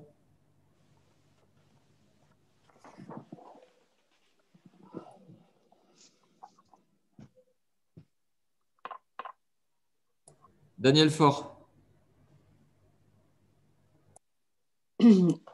Merci. Ce rapport d'activité euh, rassemble trois dimensions, l'activité de la ville de Châteauroux, celle de l'agglomération et les axes de développement durable pour les deux collectivités, plus des actions à mettre en œuvre en 2020. C'est donc un, un grand méli-mélo dont on a du mal à sortir quelque chose de probant. Vous comprendrez qu'en matière de lisibilité, on fasse mieux pour faciliter le travail des élus. Nous retrouvons des données qui figurent dans le rapport du schéma de mutualisation et même dans les orientations budgétaires. Mais il n'est pas du tout évident de décrypter les trois piliers du développement durable et leur comparaison dans leurs avancées et leurs reculs. Dans le cadre du plan local d'insertion, par exemple, difficile d'en mesurer les effets. Les remarques que j'ai formulées sur les orientations budgétaires et sur le schéma de mutualisation se confirment bien évidemment à ce rapport. On y constate des services en tension, des ici, par auto et d'autres, une réduction des emplois de fonctionnaires, un développement des contrats à durée déterminée et des départs volontaires hors retraite en augmentation. Du point de vue de l'environnement, il y a des avancées et je le prends en compte. Quant à l'économie, je reste perplexe sur certaines, sur certaines. Soutenir la filière maroquinerie et confection, pourquoi pas, mais il me semble que celle-ci est tournée essentiellement sur le luxe. En l'état, cette filière peut vite dégringoler si la riche clientèle étrangère disparaît avec les aléas euh, sanitaires ou autres. Euh, notre condition d'aide aurait pu être une diversification de la production, puisqu'on en parle beaucoup. On a vu avec la crise que les productions, il fallait qu'elles restent sur euh, le territoire. Merci. D'autres demandes d'intervention? Pas d'autres Ah si. Euh, Jean-Yves Hugon? Oui, Madame Fort, je vous trouve un petit peu dur là, parce que bon, vous, avez, êtes intervenu sur le fond et sur la forme. Alors bon, sur le fond, je, pas, donc, je ne vais pas juger de votre intervention, mais sur la forme, je vous trouve un petit peu dur parce que c'est un travail remarquable, vous de me répéter, c'est un travail remarquable de nos services, c'est un gros travail. Donc je vous trouve un petit peu injuste avec nos services. C'est vrai qu'hier, le même document commenté avait plutôt euh, attiré les félicitations sur sa lisibilité, sur la clarté, sur la présentation qui, est, euh, qui, est vraiment, qui a vraiment été très travaillée par les services et par la société qui l'a mise en forme. Après, sur le fond, effectivement, comme j'aurais vu, bon, moi, je ne ferai pas de commentaires supplémentaires. Est-ce qu'il y a une autre demande d'intervention? Oui, oui, je vais vous Oui. répondre. Oui. Oui, oui, mais je ne doute pas du tout du travail fait par les fonctionnaires, pas du tout. C'est pas ça, c'est que je trouve, euh, en fait, euh, c'est fait exprès, hein, c'est pas, c'est pas de la faute des fonctionnaires, parce que vous auriez très bien pu mettre le développement durable d'un côté, et, mais ça, c'est une demande de votre part. Les fonctionnaires n'ont pas fait de même euh, ce, rapport-là. C'est tout. Mais historiquement, il y avait deux, rapports. Un rapport d'activité, un rapport développement durable. Simplement, il a été demandé à l'époque qu'on mette en exergue les mesures de développement durable au regard de nos missions. Et donc, dans chacune, euh, dans, chacune des, euh, chacun des sujets évoqués, dans chacun des chapitres évoqués, que le développement durable soit euh, mis en face des actions réalisées, de notre travail au quotidien, et pour qu'on voit l'impact du travail quotidien sur le développement durable, et que ce ne soit pas un document euh, mis à part où on aurait concentré toutes les actions de développement durable. Donc c'est un choix qui a été fait effectivement en début de mandat précédent, parce qu'on on s'est rendu compte que mettre à part un rapport spécifique sur le développement durable, ce n'était pas satisfaisant en fait. C'est un choix qui a été fait. Je pense, je, peux comprendre qu'il ne vous convienne pas, mais c'est celui qui a été fait à l'époque. Pas d'autres demandes d'intervention? Vous nous donnez acte de la communication. Merci beaucoup. Dossier numéro 18, achat de pneumatiques, charges lourdes et de prestations associées, Philippe Simonet. Le micro peut-être? Voilà, pardon. On a un accord cadre à bon de commande qui a été euh, conclu entre la ville de Châteauroux et la, communauté, d'agglomération euh, Châteauroux Métropole euh, concernant des commandes de, pneumatiques à charge lourde pour, les, gros véhicules spécifiques. Dans le cadre, de, cet accord cadre, il y a une, il y a une commission d'appel d'offres qui s'est réunie euh, récemment et qui a attribué ce marché à la société euh, Chiro. C'est un marché qui, pour Châteauroux Métropole, porte sur un montant minimum de 50 000 euros hors taxe et un montant maximum de 200 000 euros hors taxe, et un montant minimum de 20 000 euros hors taxe et un montant maximum de 50 000 euros hors taxe pour ce qui concerne la ville de Châteauroux. Et tout simplement, euh, il vous est proposé euh, d'autoriser le président ou son représentant à signer cet accord cadre avec la société Chiro SA pour les montants minimum et maximum que je viens de vous évoquer. Des questions sur ce marché?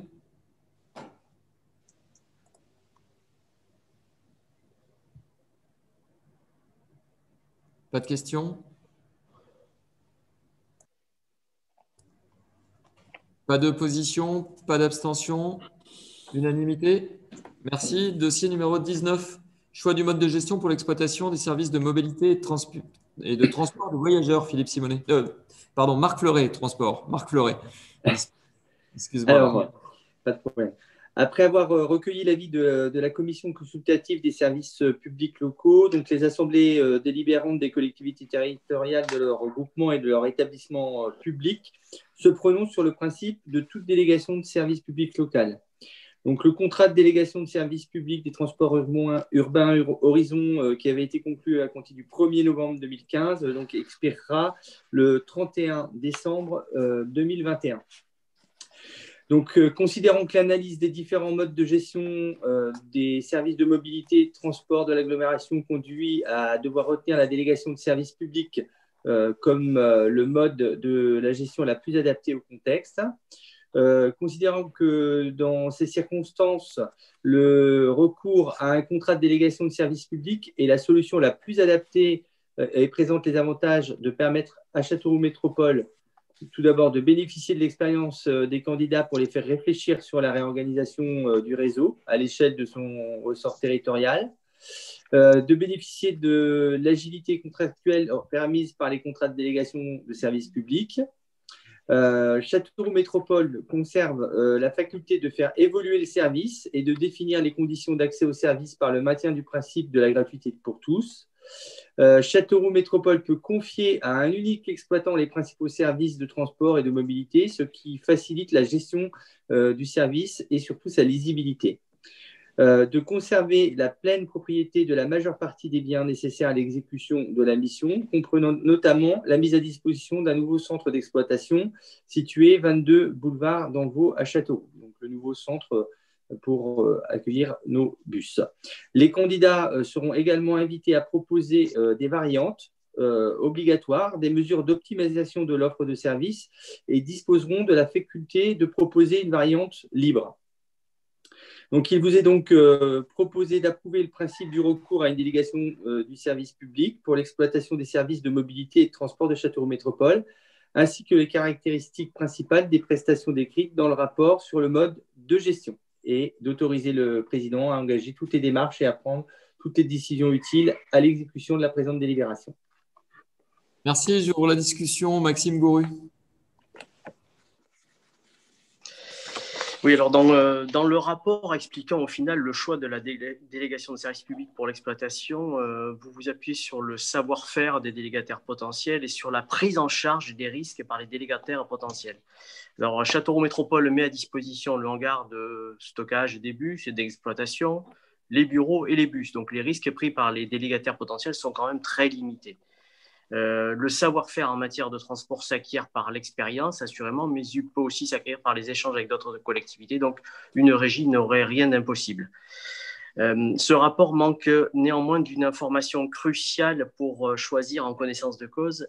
C'est quel est le surcoût occasionné par cette exploitation, exploitation privée, puisque aucune entreprise ne travaille à perte? même s'il s'agit d'une société créée localement, une partie de sa rémunération quittera le périmètre de l'agglomération. Savez-vous l'évaluer? Merci.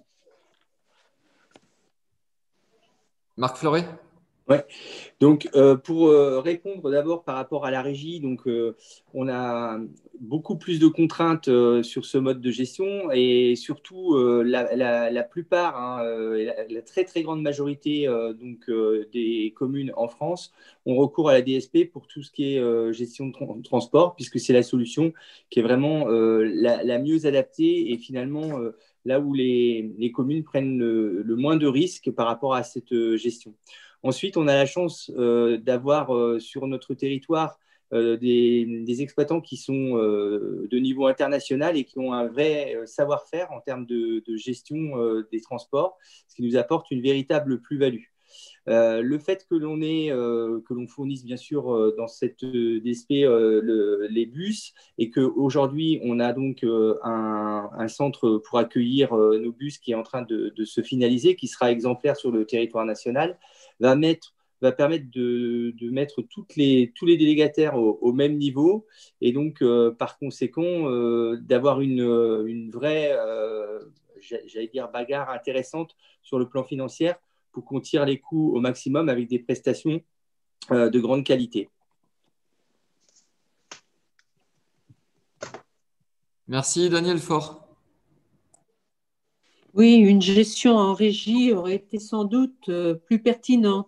Bah mais pour en juger, il aurait fallu disposer d'une étude comparative, chiffrée et argumentée des différents modes de gestion. Avec euh, la gestion actuelle, le développement peut s'envisager, mais avec des moyens supplémentaires. Dans la campagne des municipales, un des points majeurs qui est venu en débat est le manque de cadencement des transports sur l'ensemble des communes. Dans certains villages excentrés de Déol, mais dans d'autres communes aussi sans doute, on se plaint de voyages trop longs et du manque de cadencement en journée. Une situation nouvelle à Déol est aussi à prendre en considération dans ce futur euh, contrat. Le supermarché Lidl quitte le centre-bourg pour s'implanter entre le centre-bourg et le grand, et grand Déol, à un endroit difficilement compréhensible d'ailleurs compte tenu du zonage au plus, mais il est en construction. Actuellement, les habitants du centre-ville et ceux de la cité du Clou peuvent accéder à ce commerce à pied. Avec la nouvelle implantation, son accès à pied pour les personnes à mobilité réduite ou sans moyen de locomotion sera, difficile, voire impossible, compte tenu de l'éloignement. De plus, cela va amplifier la circulation routière. Il faut donc pallier à cette problématique, à moins que Lidl prévoie une, une navette sur ces secteurs, ce serait une juste contrepartie. Mais le transport urbain peut aussi répondre à l'attente des lois en améliorant le cadencement sur cette ligne 5. Alors, Une réflexion en ce ah, sens devra, être menée, devra être menée, me semble-t-il. Sur les zones d'activité de l'agglomération, on constate que très peu de salariés prennent les transports en commun. L'utilisation du véhicule personnel est encore la pratique très dominante, c'est impressionnant. C'est aussi un coût important dans leur budget familial. Il y a là un travail majeur à faire dans l'agglo pour réduire les gaz à effet de serre. Aussi, il me semble indispensable que le contrat de délégation de service public intègre ces exigences d'amélioration du cadencement, de dessert plus appropriées, plus approprié, de besoins d'équipement répondant aux divers modes de déplacement pour modifier les usages. C'est agir sur le réchauffement climatique. Enfin, Selon un article de la presse locale, le contrat devrait prévoir, crise sanitaire oblige, le doublement de certaines lignes aux horaires les plus fréquentés. Je sais que ce ne doit pas être facile techniquement ni, ni financièrement, mais les voyageurs y sont attentifs et c'est normal. Alors, Madame Faure, euh, je vais essayer de répondre euh, à, tous les points. Donc, le premier point, déjà, euh, juste une petite précision. À Déol, il n'y a pas de village, mais il y a des quartiers. Hein. donc, le quartier de Grangeroux et le quartier de Brassou, mais ce ne sont pas des, villages. Hein. C'est bien la ville de, de, Déol dans son ensemble dont on parle. pour ce qui est de, de Lidl, euh, y a effectivement, euh, au niveau de, la desserte actuelle, il, manque un arrêt à ce niveau-là et on, est en train de travailler euh, pour prévoir un arrêt proche de, ce futur Lidl pour que les, gens puissent y accéder donc en transport en commun. Pour ce qui est de l'offre sur le territoire de Château Métropole, on fait actuellement le tour de l'ensemble des municipalités avec mes collègues maires nous discutons, nous échangeons pour euh, améliorer le réseau bus et le mettre euh, le, mieux en phase avec les besoins des différents euh, habitants. On a pratiquement fait l'ensemble du tour de, mes collègues et force est de constater que nous avons réussi à trouver des solutions pour améliorer à chaque fois le service aux habitants et aux scolaires notamment également. Voilà, donc on est en train de faire le contour de cette euh, DSP pour qu'elle soit le, mieux appropriée euh, donc aux, demandes de, de, de, des habitants de Châteauroux Métropole. Ensuite, par rapport au cadencement, euh, il faut dire que le, réseau actuellement de Châteauroux Métropole est exemplaire.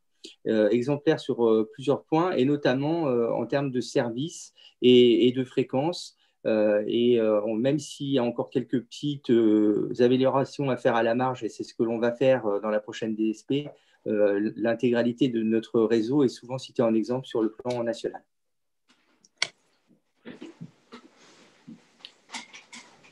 Merci. D'autres demandes d'intervention? Il y a toujours la main de Maxime Gourou levée. Je ne sais pas si pour une nouvelle intervention ou si c'est et votre micro est ouvert, euh, monsieur. Oui, merci.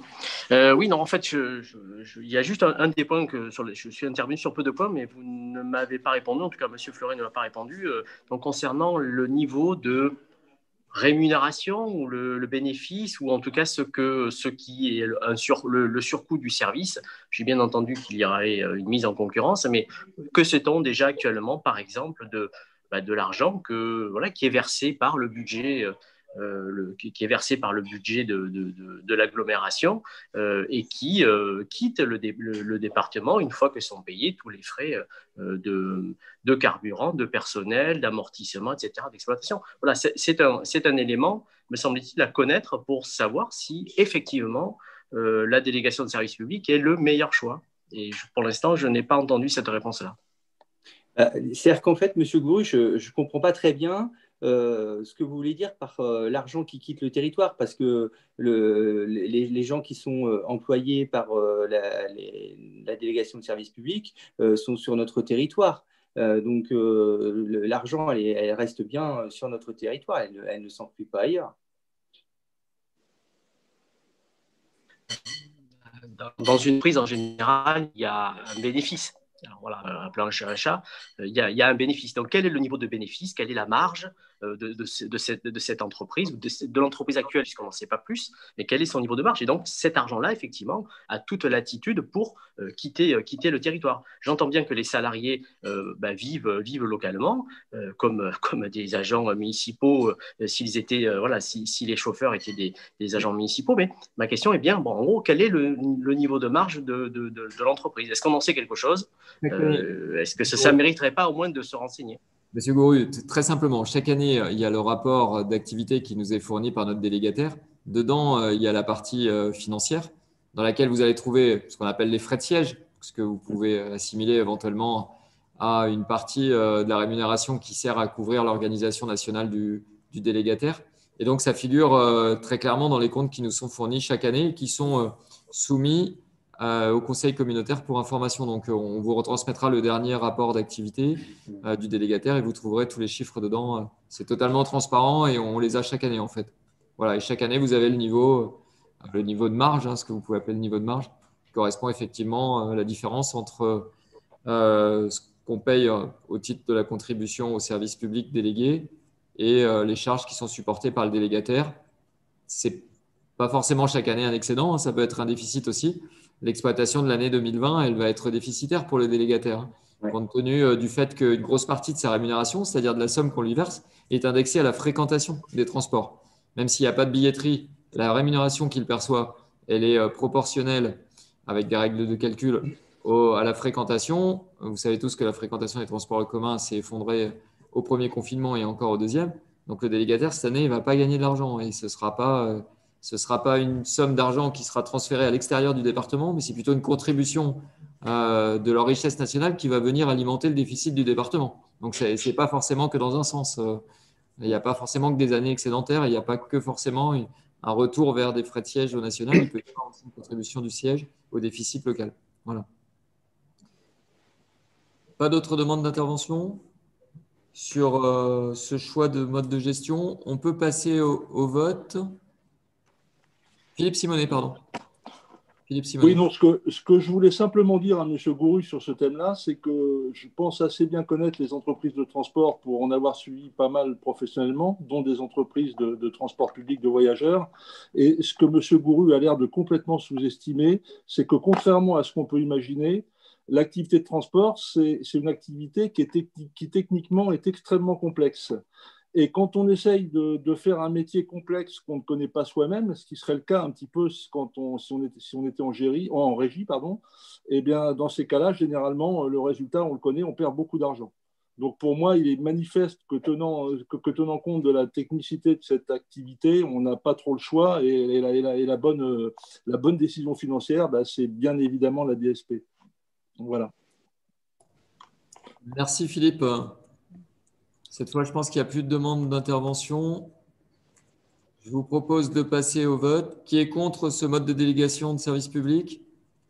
Daniel Faure? Oui, moi aussi. Maxime Gouru On est à deux votes contre. Est-ce qu'il y a des abstentions? Je n'entends pas d'abstention. A priori, Daniel Faure ne veut pas voter contre. Ah, alors pourquoi Daniel, on ne l'entend pas? Voilà, Daniel Fort. Vous voulez non, non, euh, non, non, je, je, je, je vote euh, pour. Euh, D'accord. Avec, que... avec, avec, des aménagements, il faut absolument que ce contrat s'améliore, c'est tout. Okay. Non, je pensais que le sens de votre intervention, elle est, elle est contre. Excusez-moi. Donc, un seul vote contre, pas d'abstention, tous les autres sont pour. Merci. Merci particulièrement à Brice Taillon de m'avoir signalé l'erreur de vote. Dossier numéro 20, convention pour l'intervention de Châteauroux Métropole pour assurer les interventions de salage et de raclage. Didier Duvergne. Alors, je ne l'entends pas. Oui, merci, Président. Oui, donc depuis l'hiver 2015-2016, Châteauroux Métropole propose aux communes situées dans un périmètre cohérent d'intervention et dans le cadre de la viabilité hivernale de leur fournir une prestation de raclage et de salage. Cette dernière sera réalisée selon les modalités techniques et financières détaillées dans le projet de convention liant chaque commune intéressée à Châteauroux Métropole. Les communes de Déol et Saint-Maur souhaitent, comme les cinq années précédentes, faire cette demande d'appui des services de Châteauroux Métropole. Il est donc proposé au Conseil communautaire d'approuver le modèle de convention relative à l'intervention de Châteauroux Métropole pour assurer la viabilité hivernale sur une partie du réseau routier des communes membres en ayant fait la demande d'autoriser le président ou son représentant à signer ces conventions. Merci. Y a-t-il des demandes d'intervention? Alors, j'ai toujours, euh, toujours Maxime Gourou et Daniel Faure en main levée. Est-ce que. Daniel Faure, toujours également? Non, c'est. Euh, Il n'y a rien. Bah, si, si, c'est. Marc Descoureaux Marc Descourants, on, on, te voit et on t'entend. Oui, mais juste. Oui, c'est normal. On m'a appelé parce qu'on m'a dit tu n'as pas de micro. J'ai confirmé que j'en avais bien un. Et la preuve, ça fonctionne très bien. Voilà, tu vois. Allez, à tout à l'heure. Merci, merci beaucoup. Pas de demande d'intervention donc sur euh, cette convention. On peut passer au vote. Est-ce qu'il y a des votes contre? Aucun. Des abstentions? Aucune. Unanimité, merci. Dossier 21, une convention pour la fourniture de saumure, cette fois, Didier Duverne.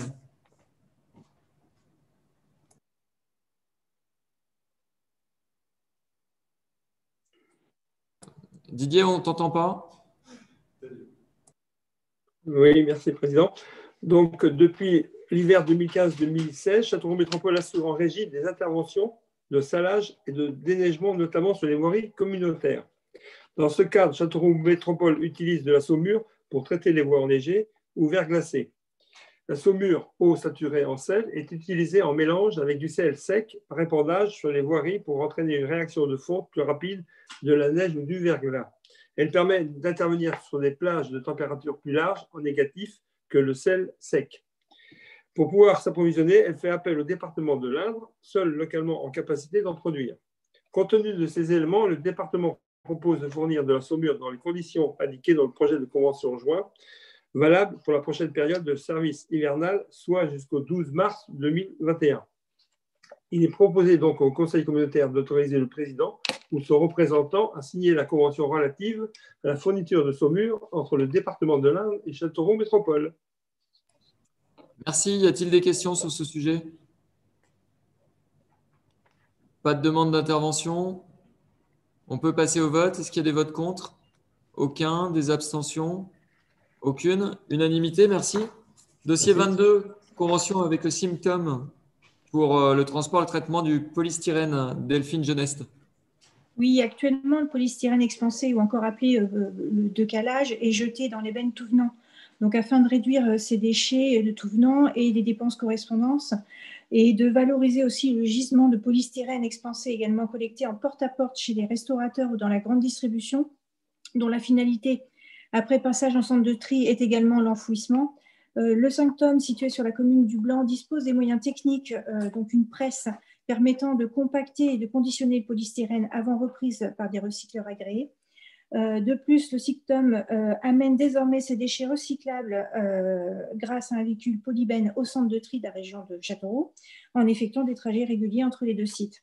Donc, le transport et le traitement sont gratuits. Une prise en charge financière par Châteauroux Métropole pourra être demandée si le prix de, reprise du polystyrène est en dessous de 250 euros la tonne, à condition de rester inférieur au coût actuel du traitement. Donc, il est proposé au Conseil du communautaire d'autoriser le président ou son représentant à signer la convention avec le symptôme pour le transport et le traitement du polystyrène expansé collecté en déchetterie et chez les restaurateurs et supermarchés euh, partenaires. Aujourd'hui, je crois qu'il y a trois supermarchés, deux supermarchés et un restaurant euh, l'Escale, Auchan et Carrefour Market euh, qui ont signé cette, cette convention. Et d'autoriser le président ou son représentant à signer tous les documents et pièces relatives à ce dossier.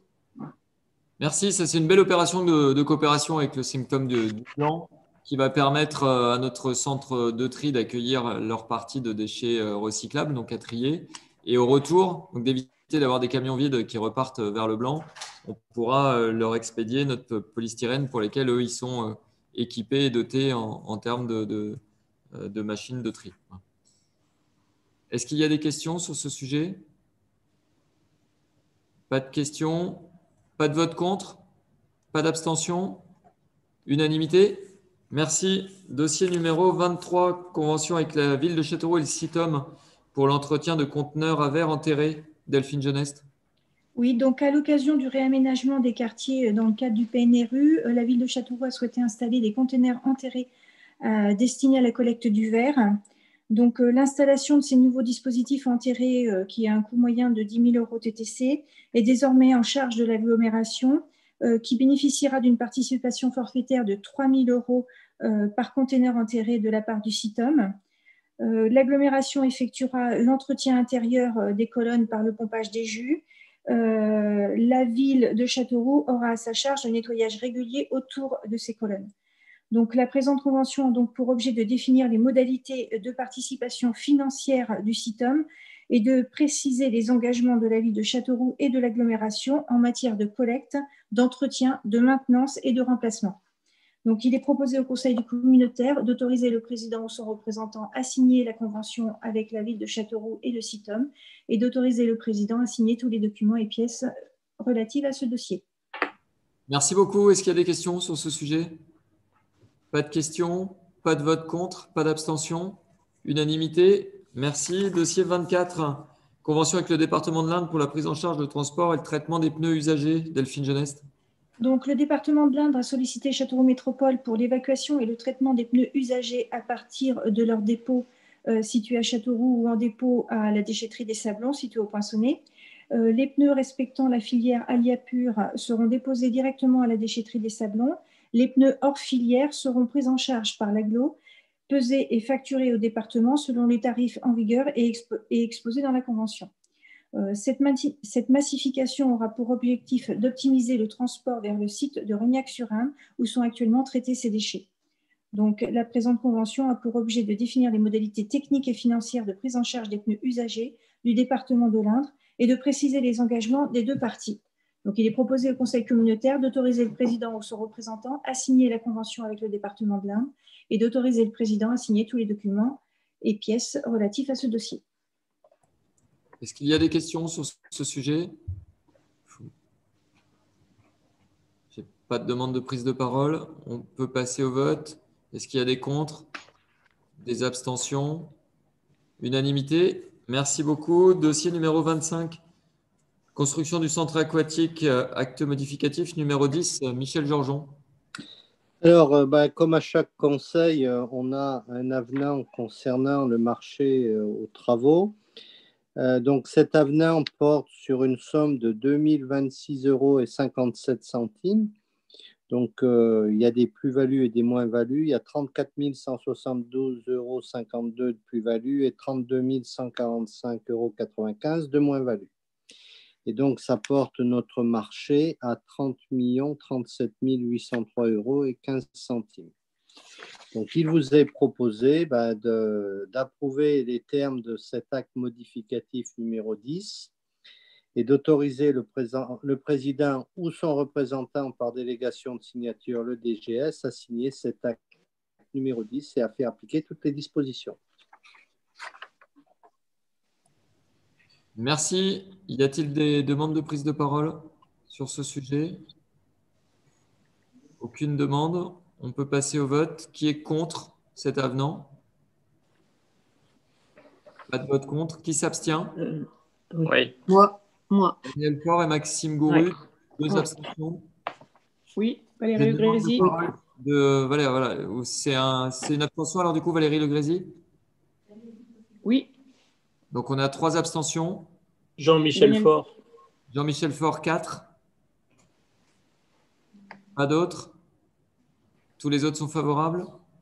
Merci beaucoup. Dossier numéro 26. Session d'une partie des bâtiments du flocage à la Chambre de commerce et d'industrie, Michel Georgeon.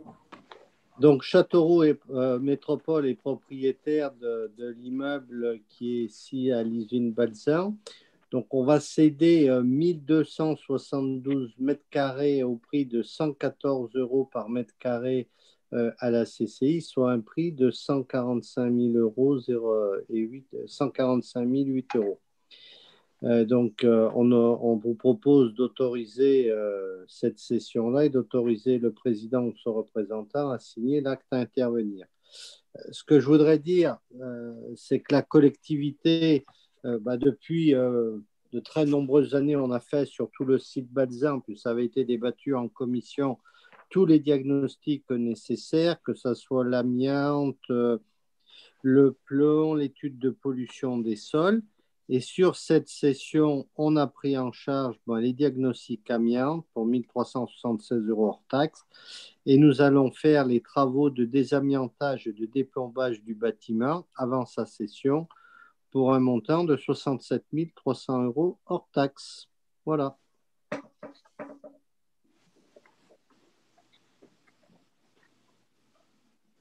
Merci euh, Michel. Alors c'est une opération euh, immobilière évidemment, au-delà de cet aspect de cession d'un des biens de l'agglomération, il y a surtout un intérêt certain euh, concernant l'objet de la cession, hein, puisqu'il s'agit pour la Chambre de commerce et d'industrie d'y aménager une nouvelle et d'y installer une nouvelle école qui va s'ajouter à l'ensemble des, enseignements qui sont dispensés sur le campus euh, euh, Châteauroux Centre, le campus centre de la, Chambre de commerce et d'industrie. Et pour nous, c'est évidemment une opportunité supplémentaire sur une formation nouvelle qui n'existe pas sur notre territoire de pouvoir euh, garder euh, des jeunes et euh, de développer à la fois l'attractivité du site, l'attractivité de, l'agglomération, du département et permettre à nos entreprises d'avoir de la main-d'œuvre qualifiée dans les domaines du commerce, puisqu'en l'occurrence, il s'agit d'une école de commerce. Voilà, est-ce qu'il y a des demandes d'intervention? J'ai des mains levées. Daniel Faure, Maxime Gouru. Oui. J'y vais. Oui, quand un tel projet est sur la table, la collectivité publique ne peut se désintéresser du contenu qui va suivre et de l'impact possible ou non sur la population qu'elle administre. Or, nous n'avons pas la moindre information sur la démarche de cette école de commerce privée. Quelles formations seront dispensées? Quels contenus pédagogiques seront délivrés? Quelles conceptions du commerce seront enseignées? Quelles finalités professionnelles seront dessinées? Et quid des frais de scolarité, de la capacité des jeunes de l'agglomération à y accéder? On peut bien sûr me rétorquer que ce n'est pas le sujet du rapport et qu'il s'agit simplement d'une vente immobilière, mais je considère que c'est tout autant un problème de responsabilité et de choix politique que de se ranger derrière un tel projet. Pourquoi pas le choix de formation publique? Pourquoi ne pas pousser des formations sur les nouveaux enjeux technologiques, industriels et écologiques, alors qu'on ne cesse de nous expliquer à longueur d'antenne que les salariés de demain devront être formés à cette fin et alors que le tissu économique du département en aurait grandement besoin? Quant au commerce, il impacte la question de la conception des échanges et de la consommation, mais avec un point de mire, une question, en point de mire une question centrale, celle du pouvoir d'achat des salariés. Donc, je m'abstiendrai sur ce dossier. Merci, Maxime Gouru. Oui, pour ma part, je serais euh, probablement un peu, plus, euh, un peu plus terre à terre, puisque dans ce rapport, il est proposé la vente d'un terrain à la CCI pour un prix forfaitaire. Donc, jusqu'à présent, on s'en remettait à l'évaluation des domaines pour établir un prix de vente, ou bien on s'appuyait sur euh, le coût de revient d'une opération d'aménagement par unité de surface pour fixer le tarif de vente. Ici, il n'y a aucune justification, si ce n'est que les deux parties sont d'accord. Euh, j'ai noté d'ailleurs que dans les chiffres importants figurant euh, dans les investissements ou dans les dépenses de 2021, la dépollution du flocage était, euh, était inscrite. Donc la session pour moi, la session d'une partie du domaine public mérite un peu plus de, un peu plus de transparence, au, moins, au, moins, au moins économique. le quartier Balzan a subi de nombreuses opérations d'acquisition, de réhabilitation de vente par château ou métropole. Alors j'aimerais savoir si on dispose d'un schéma d'aménagement et euh, j'aimerais savoir également si on dispose d'un suivi des flux économiques engagés ou perçus par les collectivités sur, sur ce, sur ce quartier-là parce que euh, ce sont des opérations au coup par coup. Merci. Euh, oui, alors euh, c'était effectivement sur ce quartier, mais tout comme ça avait été le cas aussi au centre Colbert euh, quand il y a eu la réhabilitation d'ancienne usine de la Saïta. Évidemment, les opérations de réhabilitation, elles se font au fur et à mesure des projets. On ne réhabilite pas avant de savoir à quoi vont servir les bâtiments. Là, ce dont il faut se satisfaire, c'est qu'au-delà du montant de, la cession, alors pour lequel on a un prix au mètre carré avec une évaluation des domaines, c'est qui est respecté c'est que euh, derrière, la Chambre de commerce et d'industrie va y investir un peu plus de 3 millions d'euros. Donc, c'est autant que la collectivité, donc Châteauroux Métropole, n'aura pas besoin de mettre dans, dans ce bâtiment. Et vous savez que des bâtiments qui sont euh, inscrits à l'inventaire supplémentaire des monuments historiques, comme c'est le cas de ceux dont on parle, de, de l'ensemble des usines Balzan, euh, et, on, aura l'occasion d'en reparler quand il s'agira du flocage ou quand il s'agira de céder les emprises nécessaires au conseil régional pour l'aménagement de l'école d'infirmière et de l'école d'aide-soignante. Euh, il y a des surcoûts qui sont énormes euh, liés à la contrainte historique, déjà à l'état des bâtiments, puisque là on est sur des friches industrielles qui portent véritablement bien leur nom, hein, puisqu'on est à un état de dégradation des bâtiments qui est plus qu'avancé. C'est entre la friche et la ruine aujourd'hui. Et, euh, il faut être bien conscient que trouver un porteur de projet qui veuille investir plusieurs millions d'euros dans la réhabilitation de cet immobilier pour y installer une activité, euh, c'est une opportunité qu'il faut absolument saisir. Parce que le bilan financier de l'opération, il serait nettement plus avantageux en construisant une école neuve dans des bâtiments neufs en périphérie de la ville. Là, la Chambre de commerce, elle fait l'effort de jouer euh, notre volonté d'aménagement et de renforcement du centre-ville et du campus euh, tout particulièrement, en investissant une somme conséquente avec des partenaires, hein, notamment la région Centre-Val de Loire qui sera aussi un partenaire financier important, pour nous permettre de réhabiliter un bâtiment et d'avoir des étudiants au cœur de ville. Voilà, je crois qu'il faut sortir du seul euh, aspect comptable du prix au mètre carré auquel on vend le bâtiment, parce que derrière la plus-value, elle est, euh, bien plus forte. C'est la réhabilitation d'un patrimoine historique qui tombait en ruine.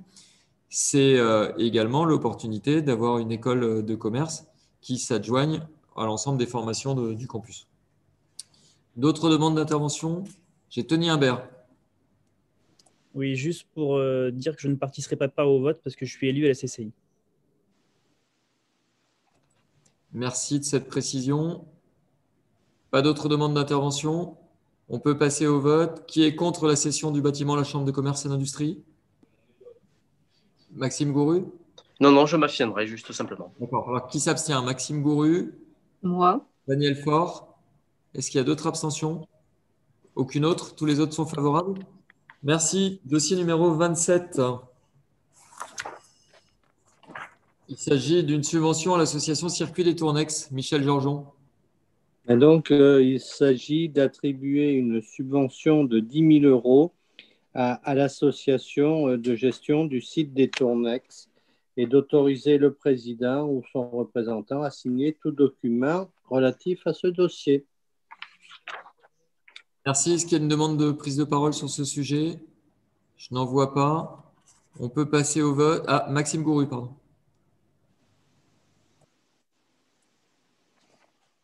Je ne vous entends pas. Maxime Gouru. Euh, oui, alors moi j'ai eu euh, une, une, information en commission sur la nature de cette subvention, mais pouvez-vous rappeler de quoi il s'agit? Parce que bon, 10 000 euros, ce n'est pas une grosse somme, mais malgré tout, euh, voilà, on, on, voit plutôt, pas, on voit pas toujours ces sommes-là. Donc, à, à, quoi correspond-elle alors, le, site des Tournex est, est un site d'intérêt communautaire qui appartenait historiquement à la ville de Châteauroux, qui, en termes de propriété, lui appartient encore, mais sous la responsabilité de l'agglomération Châteauroux Métropole avec euh, une multitude d'intervenants. Multitude, le mot est peut-être fort, mais euh, vous avez l'aéromodélisme qui est installé là-bas, l'association Écurie Terre du Berry, vous avez le club de, euh, de BMX, dans l'attente du transfert sur le site de la Margoutière, et puis le motocross Castelroussin. Donc vous avez quatre associations occupantes à l'année, plus aussi quelques courses de levrier de temps en temps. On peut dire qu'il y a cinq utilisateurs du site. Euh, ce site, il n'est pas entretenu ni par la ville, ni par l'agglomération. C'est-à-dire qu'on verse une subvention à l'association qui s'appelle Circuit des Tournex, qui regroupe les occupants et qui fait son affaire de l'entretien au quotidien du site, c'est-à-dire la tonte des espaces, euh, le maintien des clôtures, des portails. Et. Euh, elle fait cette réalisation pour le compte du propriétaire ou du gestionnaire, en l'occurrence Châteauroux Métropole. Voilà à quoi servent les 10 000 euros. Pas d'autres demandes d'intervention? On peut passer au vote. Qui est contre cette subvention à l'association Circuit des Tournex? Personne. Qui s'abstient? Pas d'abstention Unanimité, merci. Dossier numéro 28, acquisition de la parcelle cadastrée ZR2 au lieu dit la Croix-Blanche, commune de Déol. Alors, à l'origine, c'est Christophe Baillet qui devait rapporter. Est-ce qu'il y a eu un autre rapporteur? Non, c'est moi, euh, Gilles. C'est moi. D'accord. Michel Jean. Voilà, donc Christophe Baillet, en son absence, m'a demandé de rapporter ces dossiers. Donc, euh, bah, il s'agit de l'acquisition de cette parcelle ZR2 qui à la Croix-Blanche, euh, qui fait 569 euh, mètres carrés au prix de 200 euros. Bon, bah, il vous est proposé d'approuver l'acquisition de cette parcelle et d'autoriser le président ou son représentant à signer tout acte à intervenir. Merci. J'aurais dû vous préciser à la délibération précédente que François Jolivet avait quitté le conseil communautaire et a donné son pouvoir à Thierry Damien. Donc j'en reviens au sujet qui nous occupe, le, dossier numéro 28, acquisition de la parcelle ZR2. Est-ce qu'il y a des demandes de parole sur le sujet? J'en vois pas. Euh, Daniel Faure. Oui, je voulais savoir tout simplement euh, pourquoi la parcelle était si peu chère? Est-ce qu'il y, a beaucoup d'entretien à faire dessus? Euh, Je ne comprends pas par rapport au prix euh, qu'on offrait au départ.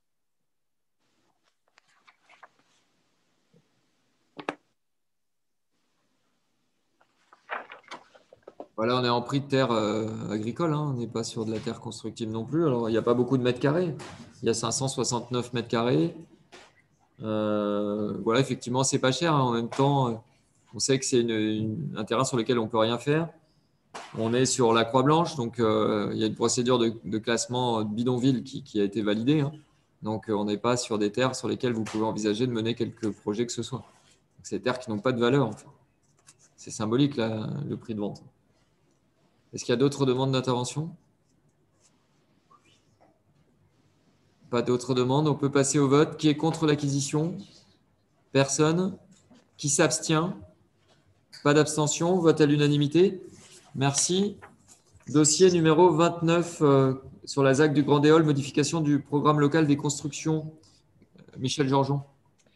Donc, depuis la réalisation euh, de la ZAC, euh, donc la zone d'aménagement concerté de Grand Déol, actée par délibération du conseil municipal de Déol le 23 décembre 1995 et l'approbation de son dossier de réalisation le 15 février 1996, euh, le dossier de ZAC a fait l'objet de plusieurs modifications.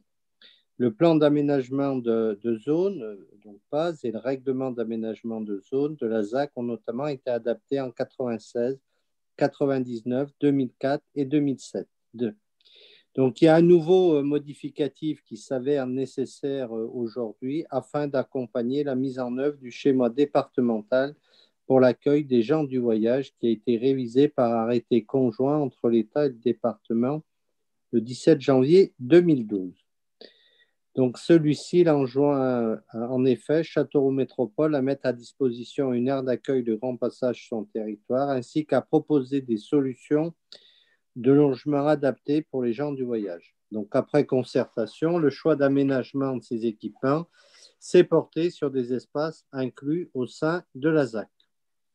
Donc, il convient à présent de réactualiser la pièce du dossier de réalisation correspondant au programme global des constructions à réaliser dans la ZAC afin d'entériner l'élargissement de la vocation de la zone à l'accueil et à l'habitat permanent des gens du voyage en complément des constructions des bâtiments à usage d'activités industrielles, artisanales, de commerce, d'entrepôts, de bureaux et de services prévus initialement. La présente délibération et la notice explicative qui lui est annexée se substitueront donc aux PAS et aux RAS désormais caduques qui déterminaient le programme global des constructions à réaliser dans la ZAC. Je vous passe tous les attendus et donc, il est proposé au Conseil communautaire d'approuver la modification du dossier de réalisation de la ZAC de Grandéole dans sa partie concernant le projet de programme local des constructions à réaliser au sein de la zone, tel que présenté dans le rapport annexé à la présente délibération, et d'autoriser le président ou son représentant à prendre toutes les mesures nécessaires à l'exécution de la présente délibération et de procéder notamment aux mesures d'affichage et de publicité prévues par la réglementation en vigueur. Merci, Luc Delaval. Oui, simplement, moi, je voulais apporter une, une précision et plutôt une correction à, dans les considérants, pour être bien précis.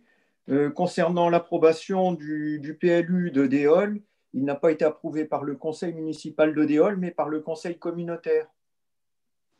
Puisque en, c'était le 24 juin 2016, euh, euh, euh, la, la, communauté d'Aglo avait été amenée à, à, prendre la compétence.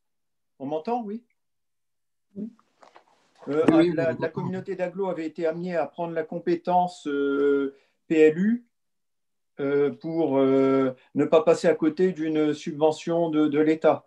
Et donc, on avait devancé cette prise de compétence en conseil communautaire de, je crois, trois semaines ce qui fait que c'est bien le conseil communautaire et non pas le conseil municipal qui a approuvé le PLU de Déol. Oui, c'est juste. On fera la modification. D'autres demandes d'intervention? Tout à l'heure, on parlait euh, d'action sociale portée par le Châteauroux Métropole, en l'occurrence, là, en s'agissant du relogement de, gens du voyage euh, pour, euh, pour sortir, je veux dire, celles et ceux qui sont sur le bidonville de la Croix-Blanche, il y a quand même un gros travail de fait en collaboration avec l'ensemble des maires de l'agglomération que je remercie au passage. Pas de demande d'intervention, on peut passer au vote. Est-ce qu'il y a des votes contre cette modification du programme local des constructions dans le dossier de ZAC de Grandéole Pas de vote contre. Est-ce qu'il y a des abstentions? Pas d'abstention. Unanimité. Merci. Dossier numéro 30, ça concerne les certificats d'économie d'énergie et une convention de prestation. Michel Georgeon. Alors, depuis 2017, et grâce à la labellisation territoire à énergie positive et pour la croissance verte, l'agglomération Châteauroux Métropole bénéficie de certificats d'économie d'énergie, donc CE, pour ses travaux d'investissement. Euh, il est pour poursuivre cette, la valorisation des CE auprès d'un vendeur d'énergie. Châteauroux Métropole a consulté quatre sociétés délégataires pour l'accompagner dans l'accomplissement des formalités nécessaires et valoriser les CE au meilleur taux. Donc, il y a un contrat qui, était, qui est signé jusqu'au 31 décembre 2020 avec la société EDE qui prévoyait la vente des CE au prix de 7,30 euros. Donc, euh, on a relancé euh, un, nouvel euh, appel à candidature et c'est toujours la société EDE e qui a de nouveau fait la meilleure proposition de rachat des CEE. Et donc, il vous est proposé d'autoriser le président ou son représentant à signer le contrat de vente et d'accompagnement avec la société EDE et à, autoriser tout document relatif à la vente des E. CE. Merci. Est-ce qu'il y a des demandes de- d'intervention sur ce sujet? Daniel Faure? Oui. Vouloir agir sur l'avenir de la planète en exigeant plus de transition écologique est un bien. Les collectivités locales, comme les entreprises et les ménages, peuvent bénéficier avec cette procédure d'un retour en recettes bien utile en ces temps. Mais ce dispositif ressemble à une véritable usine à gaz dont on a bien du mal à déterminer tous les tenants et les aboutissants. Ce qu'on peut comprendre, c'est que sous couvert d'une juste recherche d'économie d'énergie, l'État appelle les fournisseurs d'énergie à réduire leurs ventes sous l'impact de leur incitation auprès de leurs clients à effectuer des achats et travaux permettant des économies d'énergie. Sauf que ces fournisseurs d'énergie sont, ou sont devenus des entreprises privées préoccupées essentiellement de leurs profits financiers. Ils auront donc sans aucun doute la volonté de compenser leurs pertes par l'augmentation des tarifs pour le consommateur dans un proche avenir, surtout avec la déréglementation des tarifs. C'est donc à une fausse bonne idée à laquelle nous sommes confrontés et qui appelle, selon moi, et même si ce n'est pas de notre compétence, à un retour plein et entier des fournisseurs d'é- d'énergie dans la sphère publique. Sans compter que ces vendeurs d'énergie s'organisent pour créer leur filiale de services énergétiques. Pas étonnant que les petites entreprises locales ne peuvent plus concourir aux appels d'offres mêlant à la fois services énergétiques et fourniture d'énergie. La concurrence si vantée est bien faussée. Je m'abstiendrai. Merci. D'autres demandes d'intervention? Je n'en vois pas. On peut passer au vote. Qui est contre Personne. Qui s'abstient? Une personne, Daniel Faure. Pas d'autres abstentions. Donc tous les autres sont favorables. Merci. Dossier numéro 31. Il s'agit du rapport d'activité 2019 du pays Castelroussin. Michel Georgeon. Bah, tu, tu as tout dit. Il vous est, proposé au Conseil communautaire de prendre acte du rapport d'activité 2019 du pays Castelroussin-Val de l'Inde que vous avez toutes et tous lu. Luc Et s'il y, a des- et s'il y a des questions, euh, son président, Luc de Laval, pourra répondre.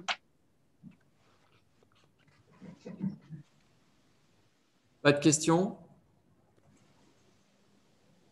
S'agissant d'un rapport d'activité, il n'y a pas de, de vote. hein. Vous prenez acte simplement du fait qu'on vous ait communiqué ce rapport d'activité.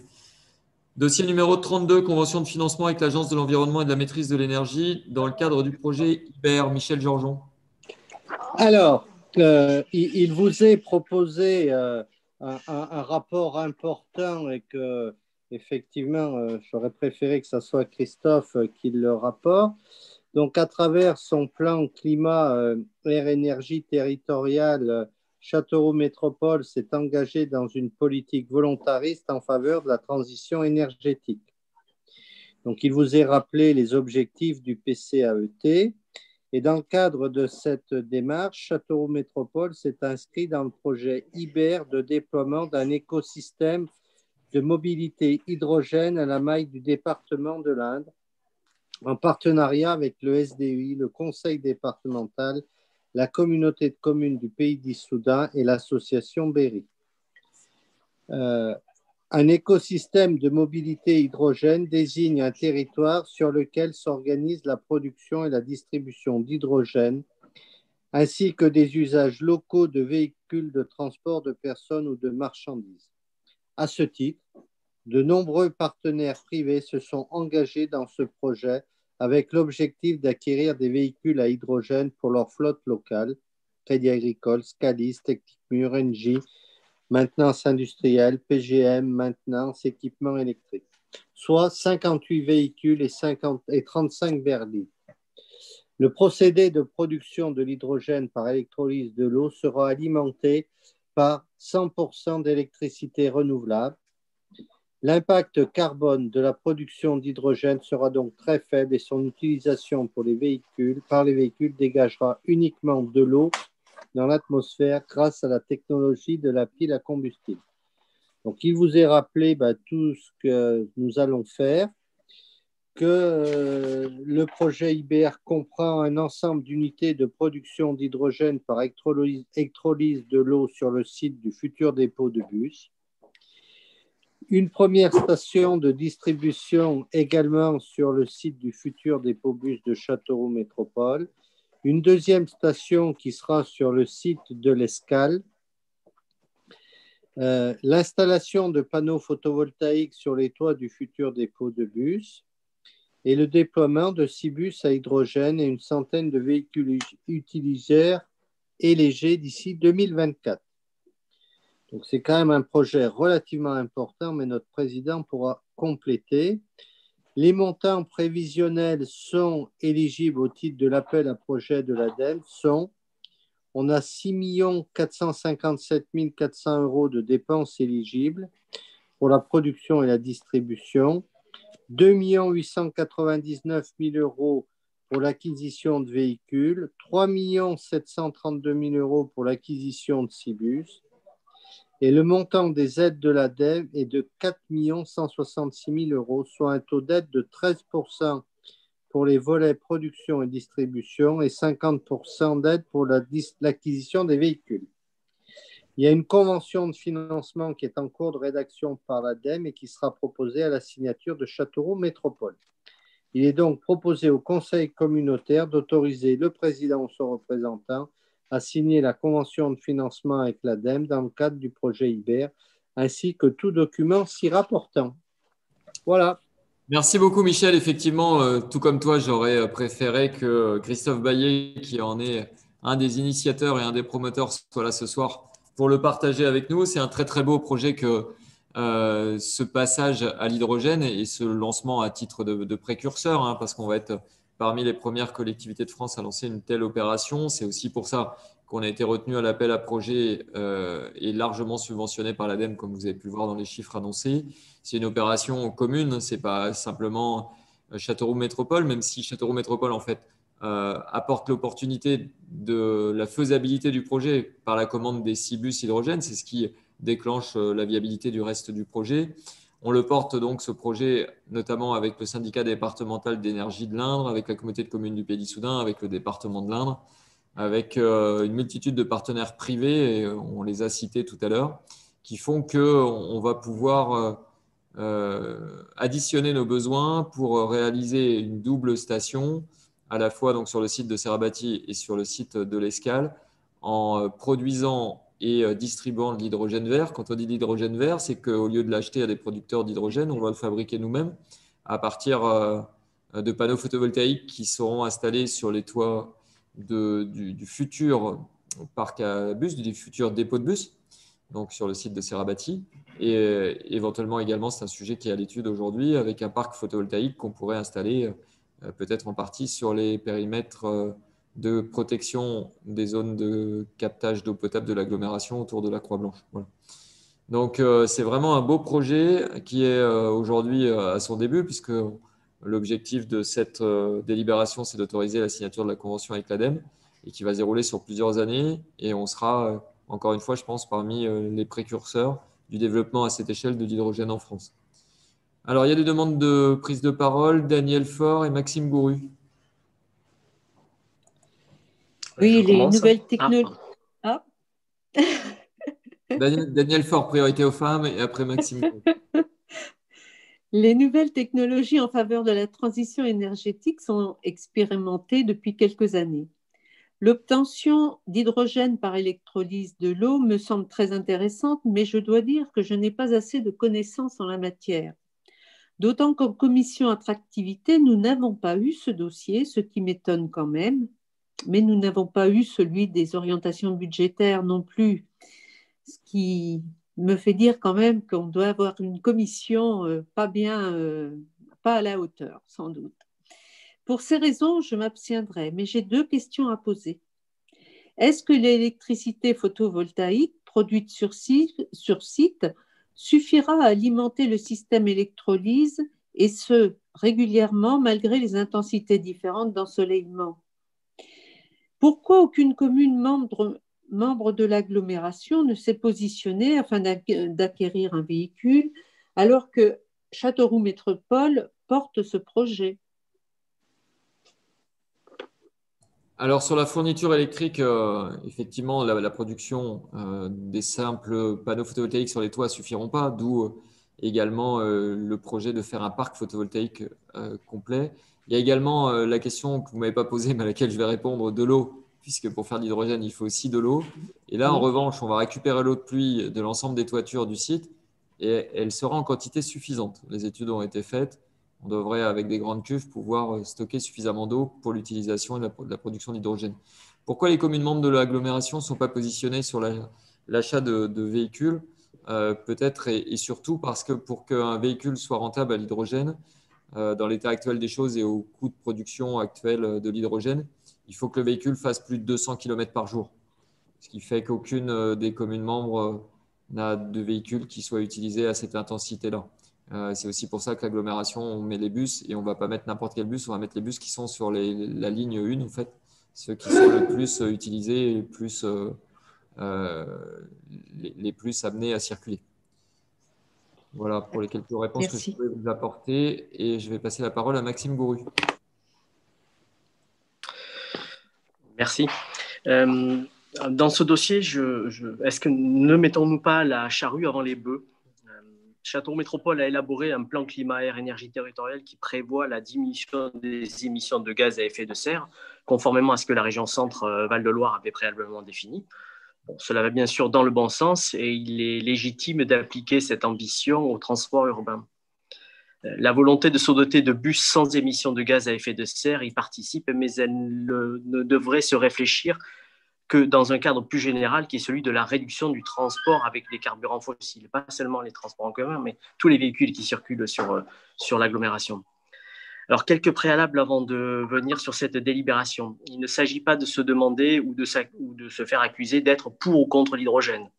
Il ne s'agit pas non plus de se demander s'il faut produire du dihydrogène, c'est-à-dire le gaz utilisable. Il ne s'agit pas de se prononcer sur le projet IBER. Il s'agit seulement de s'interroger sur la participation de Châteauroux Métropole au projet IBER. Une autre précision, on utilise souvent le terme de bus à hydrogène. Il s'agit en réalité de bus à moteur électrique dont l'alimentation en électricité est assurée par la transformation du dihydrogène dans une pile à combustible. Ainsi, un bus à hydrogène n'émet pas de gaz à effet de serre, mais un bus électrique à batterie n'en émet pas non plus.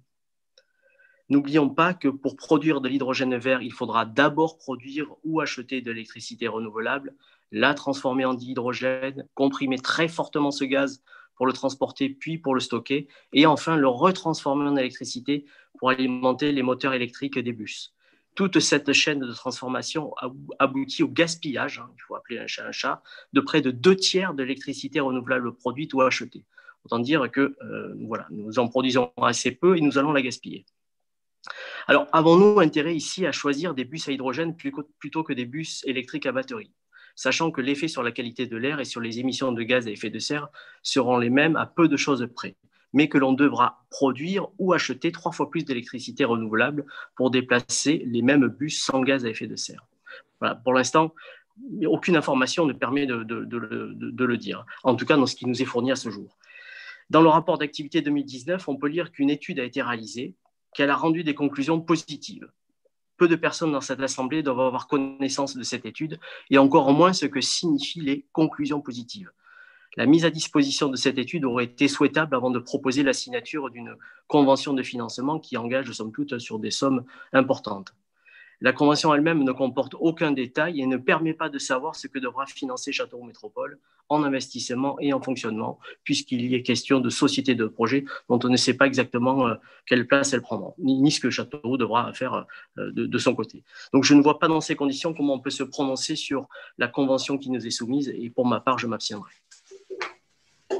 Vous êtes assez euh, désespérant en fait à écouter parce que euh, on ne sait pas quelle est votre vision des choses et quelle est votre volonté euh, pour l'avenir de notre territoire et l'avenir de notre société. On est là sur un, dossier qui est assez exemplaire euh, en termes justement de, non-consommation d'énergie fossile et vous êtes en train de, d'essayer de démontrer qu'en fait, il y aurait peut-être euh, plus intérêt à circuler avec des bus à 100% électriques et pas des bus à hydrogène.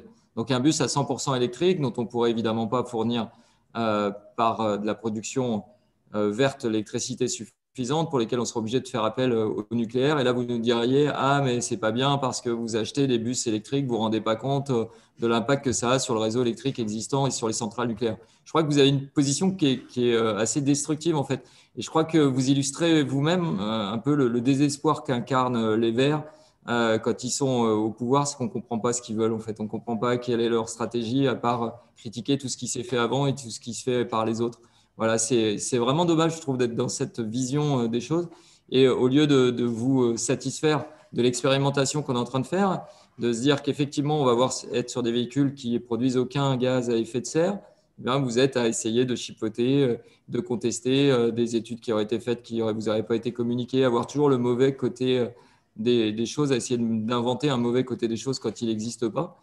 Et moi, je vous encourage et je vous engage à être positif, à, vous occuper, à vous intéresser, à demander justement les études qui ont été faites, à vous associer et pas être dans la critique permanente, mais être dans la proposition. Je peux vous dire que Christophe Baillet et toutes celles et ceux qui travaillent sur ce dossier-là, les gens de l'ADEME qui sont des spécialistes, ils sont très heureux qu'on porte ce projet et très heureux qu'on participe à cet écosystème national qu'on est en train de porter aux côtés de la région dans le cadre d'un schéma régional de développement avec des autoroutes de l'hydrogène qui vont se créer sur tout le territoire.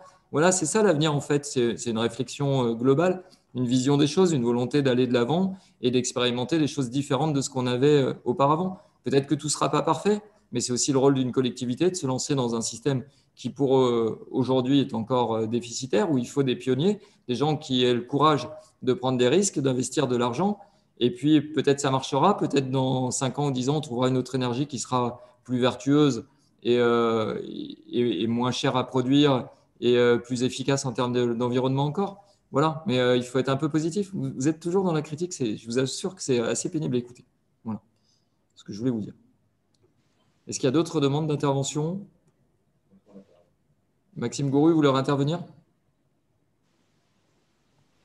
Euh, je, pense que vous n'avez pas bien écouté ce que j'ai dit. Il ne s'agit pas de contester euh, les bus non émetteurs de gaz à effet de serre, il s'agit de s'interroger sur la meilleure solution. Voilà, encore une fois, vous me dites, on va acheter des... Je, je n'ai pas dit, achetons des bus euh, qu'on puisse alimenter, des bus électriques qu'on puisse alimenter avec de l'électricité nucléaire c'est un abus complet de, en tout cas, c'est vraiment un abus de votre part. J'ai simplement dit que dès lors qu'il s'agissait d'acheter de l'électricité renouvelable, puisque c'est au final ce qui se passera. Il y aura peut-être la production locale en partie, mais il y aura forcément de, l'achat euh, d'électricité euh, renouvelable, puisque euh, voilà, je suppose que la transformation, l'électrolyse de l'eau se fera aussi la nuit. Et la nuit, le photovoltaïque ne fonctionne pas très bien. donc il y aura de toute façon besoin d'une complémentarité d'alimentation en électricité renouvelable. Elle pourrait tout à fait de la même façon s'appliquer pour charger des batteries, des batteries. Donc moi, je pose simplement la question et voilà, encore une fois, vous nous demandez de signer, euh, de, signer une convention, de vous permettre de signer une convention. Et, la plupart des éléments, les éléments de comparaison, puisque c'est de cela que je parle. Je, ne parle pas de, mettre des bus, des bus diesel. Je dis simplement, est-ce que c'est la bonne solution et qu'est-ce qui permet de le dire? Voilà. Donc après, vous pouvez en tirer des conclusions euh, euh, beaucoup plus générales, mais je demande simplement des précisions pour que chacun puisse avoir l'idée de ce qu'il en est. Et l'hydrogène, malgré tout, quand on regarde à peu près partout, y compris chez l'ADEME, ça n'est pas la solution miracle. Ça n'est pas la solution miracle parce qu'elle a des défauts énormes, qui est celui d'effectivement de perdre beaucoup d'énergie. Les rendements, les rendements énergétiques sont très mauvais, très voilà, sont vraiment médiocres. Donc une grosse partie de l'énergie qu'on produit, mais qu'elle soit de l'électricité qu'on produit, qu'elle soit issue du nucléaire ou de, des énergies renouvelables, elle est perdue. Voilà, donc euh, on ne produit pas aujourd'hui en France assez d'énergie, d'électricité renouvelable. Il est quand même je dirais, assez pertinent de s'interroger sur euh, les solutions qui, qui, ne, qui, ne permet, qui, font qu'on ne la gaspille pas. Donc, je ne dis pas que euh, le, choix qui est, qui est fait ici est, le mauvais, je dis simplement, mais voilà, comment peut-on se décider? Moi, en tout cas, je ne vois pas comment on peut se décider, puisque ben, manifestement, tout est déjà décidé. Donc, je, voilà, je, je, le regrette juste qu'on ne puisse pas avoir quelques éléments d'information, de comparaison qui pourraient me permettre de se dire oui, euh, c'est un risque raisonnable, il faut y aller. Mais voilà, je, regrette juste cette, chose-là. Je vous remercie. Je comprends, M. Gourou, vous nous dites qu'il faut choisir la meilleure solution. Simplement, on est sur un procédé expérimental encore. On ne peut pas savoir si c'est la meilleure solution. Aujourd'hui, ça nous paraît une solution euh, d'avenir avec beaucoup d'opportunités. Si l'ADEME nous attribue plus de 4 millions d'euros de subventions, 4 millions d'euros de subventions, enfin, vous vous rendez compte un peu du montant et de ce que c'est. C'est bien que l'ADEME, elle croit à cette énergie d'avenir. Sinon, elle ne nous donnerait pas 4 millions d'euros si elle disait déjà qu'aujourd'hui, ce n'était pas le bon système. Donc, pour savoir si c'est le meilleur, il faut l'expérimenter. Et c'est à la fin de l'expérimentation, quand on aura exploité nos bus, nos 6 bus. Je vous rappelle qu'on investit dans 6 bus sur une flotte de 43. Donc, pas, on n'est pas en train de changer toute notre flotte de bus. On va expérimenter ces 6 bus pendant 1, 2, 3 ans. Et puis après, on fera les, les études, les comparatifs entre les diesels qu'on a, l'électrique qu'on aurait pu prendre, du, de l'hybride dont on a aussi euh, de l'expérimentation nationale. Et on apportera nos données sur l'exploitation de nos Cibus au débat national avec euh, l'agglomération euh, de Pau qui a décidé de passer toute, toute sa flotte en hydrogène. Et voilà, on va contribuer au débat national. on est sur une phase expérimentale. Donc on peut pas, vous ne pouvez pas nous demander le résultat avant qu'on ait fait les expérimentations. Est-ce qu'il y a d'autres demandes d'intervention? Pas d'autres demandes? On peut passer au vote. Ah, il y avait une demande, non? Euh, Marc Descroix? Non, j'ai vu une main se lever, mais physiquement, c'était peut-être juste un geste. S'il n'y a pas d'autres demandes d'intervention, on passe au vote. Qui est contre cette signature de convention? Personne. Qui s'abstient? Oui, je m'abstiens. Une abstention de Maxime Gouru. Euh, Daniel Faure également? Deux abstentions. Et votre, micro est coupé, Daniel, du coup. Je ne sais pas si c'est un vote contre ou une abstention. Abstention. je l'ai dit. Je l'ai dit dans mon intervention. Oui, c'est vrai, c'est vrai, excusez-moi. Euh, deux abstentions, tous les autres sont favorables. Merci. Dossier numéro 33. Ça concerne le rapport d'activité du syndicat mix pour l'aménagement du bassin de la Théole. Marc Descoureaux. Châteauroux Métropole est adhérente au syndicat mix pour l'aménagement du bassin de la Théole dont le territoire concerne en particulier les communes de Dior, Marron, Montier-Chaume et Sassière-Saint-Germain. Les missions exercées par le syndicat sont assurées en régie et concernent la gestion des milieux aquatiques et la prévention des inondations, GEMAPI.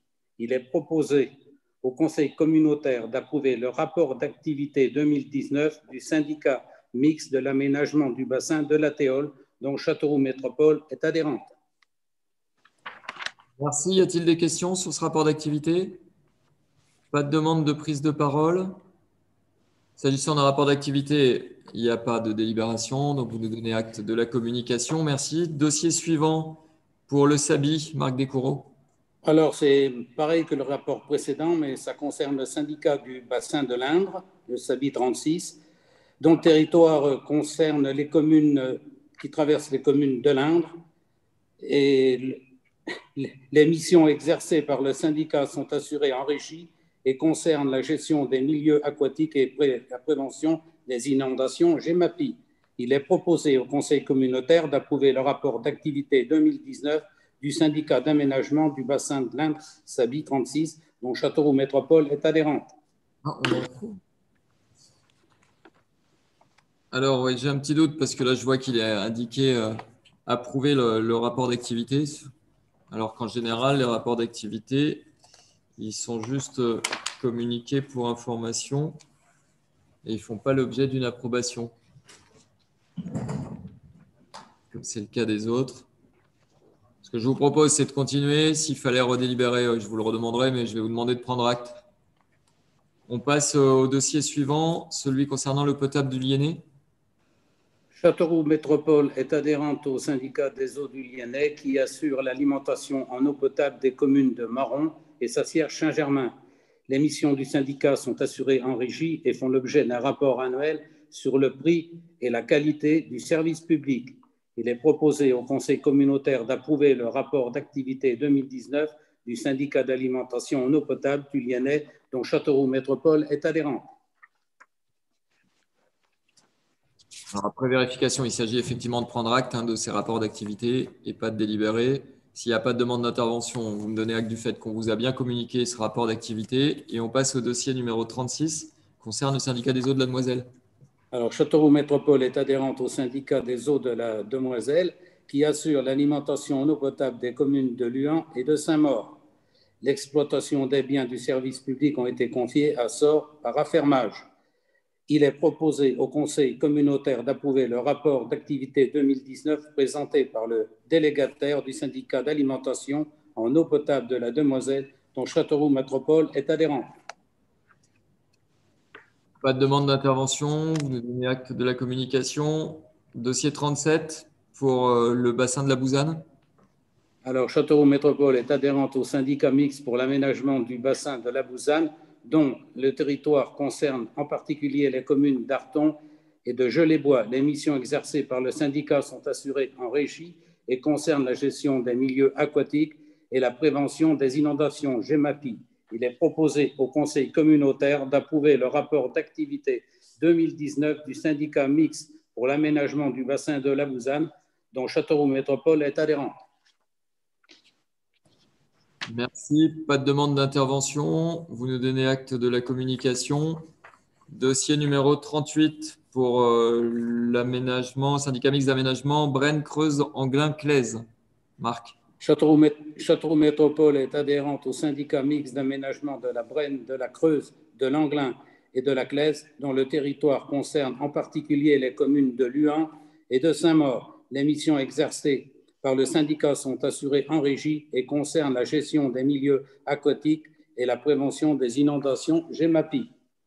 Il est proposé au Conseil communautaire d'approuver le rapport d'activité 2019 du syndicat mixte d'aménagement de la Brenne, de la Creuse, de l'Anglin et de la Claise, dont Châteauroux Métropole est adhérente. Merci. Toujours pas de demande d'intervention. Vous me donnez acte de la communication. Merci Marc. On va passer numéro 40. 39. 39. Ah pardon, numéro 39, excusez-moi. Au numéro 39, il s'agit du rapport d'activité du syndicat de la zone artisanale des Maisons Neuves. Catherine Dupont.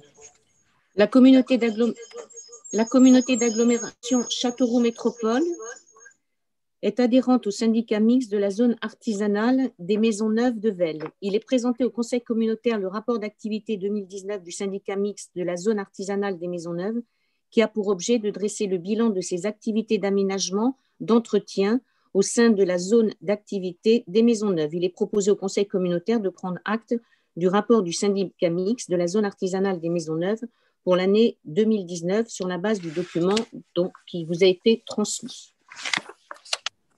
Est-ce qu'il y a des questions sur le syndicat des maisons neuves? Pas de questions?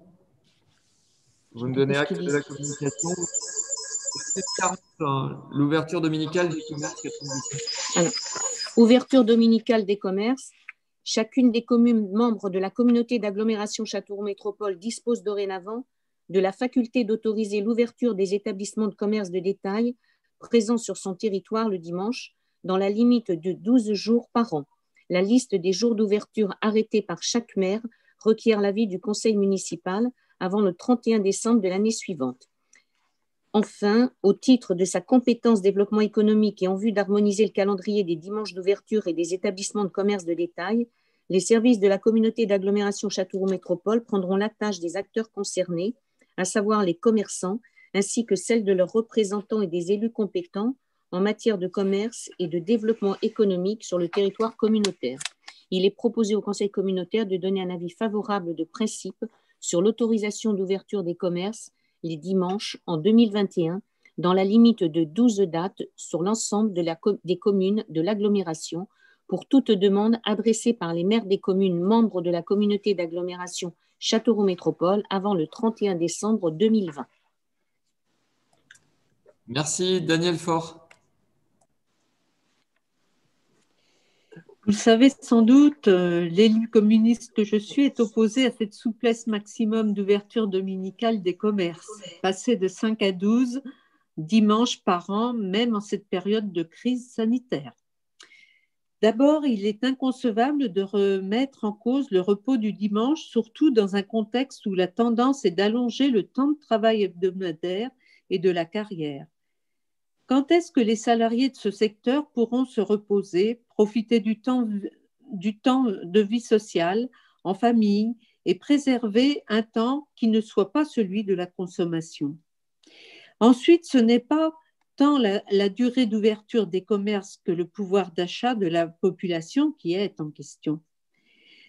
La rotation quasi permanente ouverture-fermeture des commerces sur l'agglomération en est une illustration. Enfin, un dernier aspect qui n'est pas négligeable, ces ouvertures du dimanche servent d'abord et avant tout le renforcement du travail précaire dans un contexte où les salaires de ce secteur sont déjà très bas. Quant au volontariat, chacun sait qu'il n'est la plupart du temps qu'un leurre sous la pression des employeurs et ou à cause des bas niveaux de salaire. Et je finirai par une évidence qui n'en est pas une. Il y a du monde dans les magasins le dimanche, tout simplement parce qu'ils sont ouverts. Cela pour dire que c'est une question d'organisation sociale.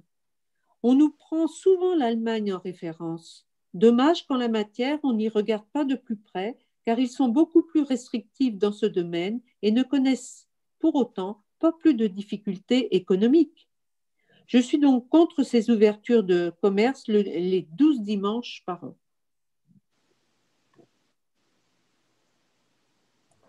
Merci. D'autres demandes d'intervention? Je n'en vois pas. Ah. Michel, j'ai fait une connerie. Maxime Bourru.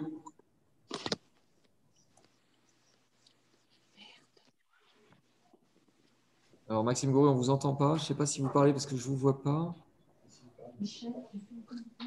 Excusez-moi, excusez-moi, je n'avais pas mis le micro. Donc en fait, je, je voulais juste savoir euh, com comment se passaient le, les demandes d'ouverture ou les demandes de voilà d'ouverture le, le, le, dimanche. Est-ce que c'est euh, une demande faite par l'association?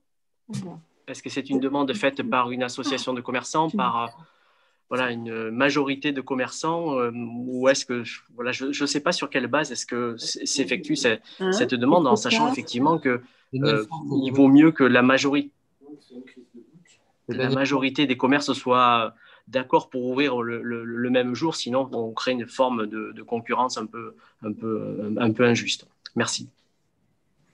Alors, effectivement, il y a une habitude de, travail un peu en, commun des, commerçants, c'est-à-dire qu'ils euh, font une demande de journée euh, de dimanche ouvert à la commune. La commune interroge. Alors, maintenant, il y a une pratique chez nous qui fait qu'on interroge à l'avance pour savoir quels sont les dimanches qu'ils souhaiteraient avoir pour harmoniser. Normalement, la règle, ce n'est pas obligatoire, la procédure qu'on qu utilise. La règle, c'est que le commerce en question sollicite la ville, la ville consulte les organisations syndicales, salariales et professionnelles pour après, donc pour avis. Et au vu de l'avis, elle accorde ou non le dimanche. Mais quand on accorde un dimanche, ce n'est pas magasin par magasin, en fait, c'est plutôt secteur d'activité par secteur d'activité. Donc, euh, chez nous, il y a maintenant une réunion de concertation pour que l'ensemble des secteurs d'activité se mettent d'accord et qu'on délivre les autorisations d'ouverture le dimanche pour essayer qu'ils soient tous sur le même dimanche. Après, il y a les secteurs d'activité, je pense, euh, alors il y en a qui ne sont pas forcément soumis, mais euh, les concessions automobiles qui veulent faire une journée porte ouverte, elles vont le faire en même temps, toutes, mais elles ne vont pas forcément vouloir prendre le dimanche euh, qui va être demandé par le magasin de vêtements qui, lui, va vouloir plutôt un dimanche sur les, les mois de décembre pour préparer Noël, alors que les concessions automobiles, elles seront sur le printemps ou sur l'automne. Voilà, donc il y, a, il y, a, vraiment un travail qui est fait avec eux. Et la procédure, c'est normalement le magasin sollicite la ville, la ville consulte les organisations et après elle, elle donne dans le cadre du maximum des 12 jours qui sont fixés au niveau de, de l'intercommunalité. Mais après, le choix se fait ville par ville. Est-ce qu'il y a d'autres demandes d'intervention? Je n'en vois pas. On peut passer au vote. Qui est contre? Daniel Faure. Mhm. Est-ce qu'il y a d'autres votes contre? Non. Est-ce qu'il y a des abstentions? Maxime Gouru en abstention. Est-ce qu'il y en a d'autres? Je n'en vois pas. Tous les autres sont favorables. Merci. Dossier 41. Il s'agit euh, des contrats d'engagement étudiant pour le campus connecté. Jean-Yves Hugon. Oui, campus connecté. Alors, donc pour mémoire, euh, Châteauroux Métropole avait participé à l'appel à, à, projet campus connecté euh, au printemps dernier. Nous avons été retenus parce que nous avions un très beau dossier. Et donc maintenant, il s'agit de passer à l'action. Euh, puisque euh, ce campus connecté euh, avait prévu de, commencer à proposer ses offres à partir de la rentrée universitaire. Alors, bien entendu, donc c'est vrai que la, période est peu favorable aux, inscriptions dans ce campus connecté. Néanmoins, donc, il y a une personne qui est qui a été euh, engagé par Châteauroux Métropole pour euh, assurer la promotion de ce campus connecté et puis donc de recrutement d'étudiants. Alors en fait, juste en un mot, un, petit rappel sur, le pourquoi de ce campus connecté. Il s'agit de, proposer à des, étudiants qui, euh, pour d'abord pour des raisons financières, donc hésitent à, se déplacer pour engager des études à l'extérieur de notre territoire, euh, mais pas uniquement. Ça, peut concerner également des gens qui veulent reprendre des études. Euh, ce campus connecté est hébergé dans des conditions très privilégiées dans la cité du numérique. Alors, donc nous en sommes au tout début. Il y a cette semaine, donc nous avons la, première étudiante qui, euh, qui s'est inscrite.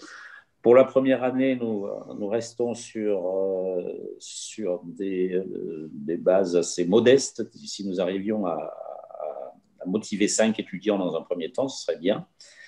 Alors, il s'agit donc euh, de signer une convention avec les, étudiants concernés, puisqu'ils sont accueillis euh, gratuitement au sein de, la Cité du numérique et on met à leur disposition donc, des, outils nécessaires pour euh, étudier dans les meilleures conditions, notamment euh, des outils informatiques. Donc il s'agit euh, de, de, signer avec les étudiants un contrat d'engagement.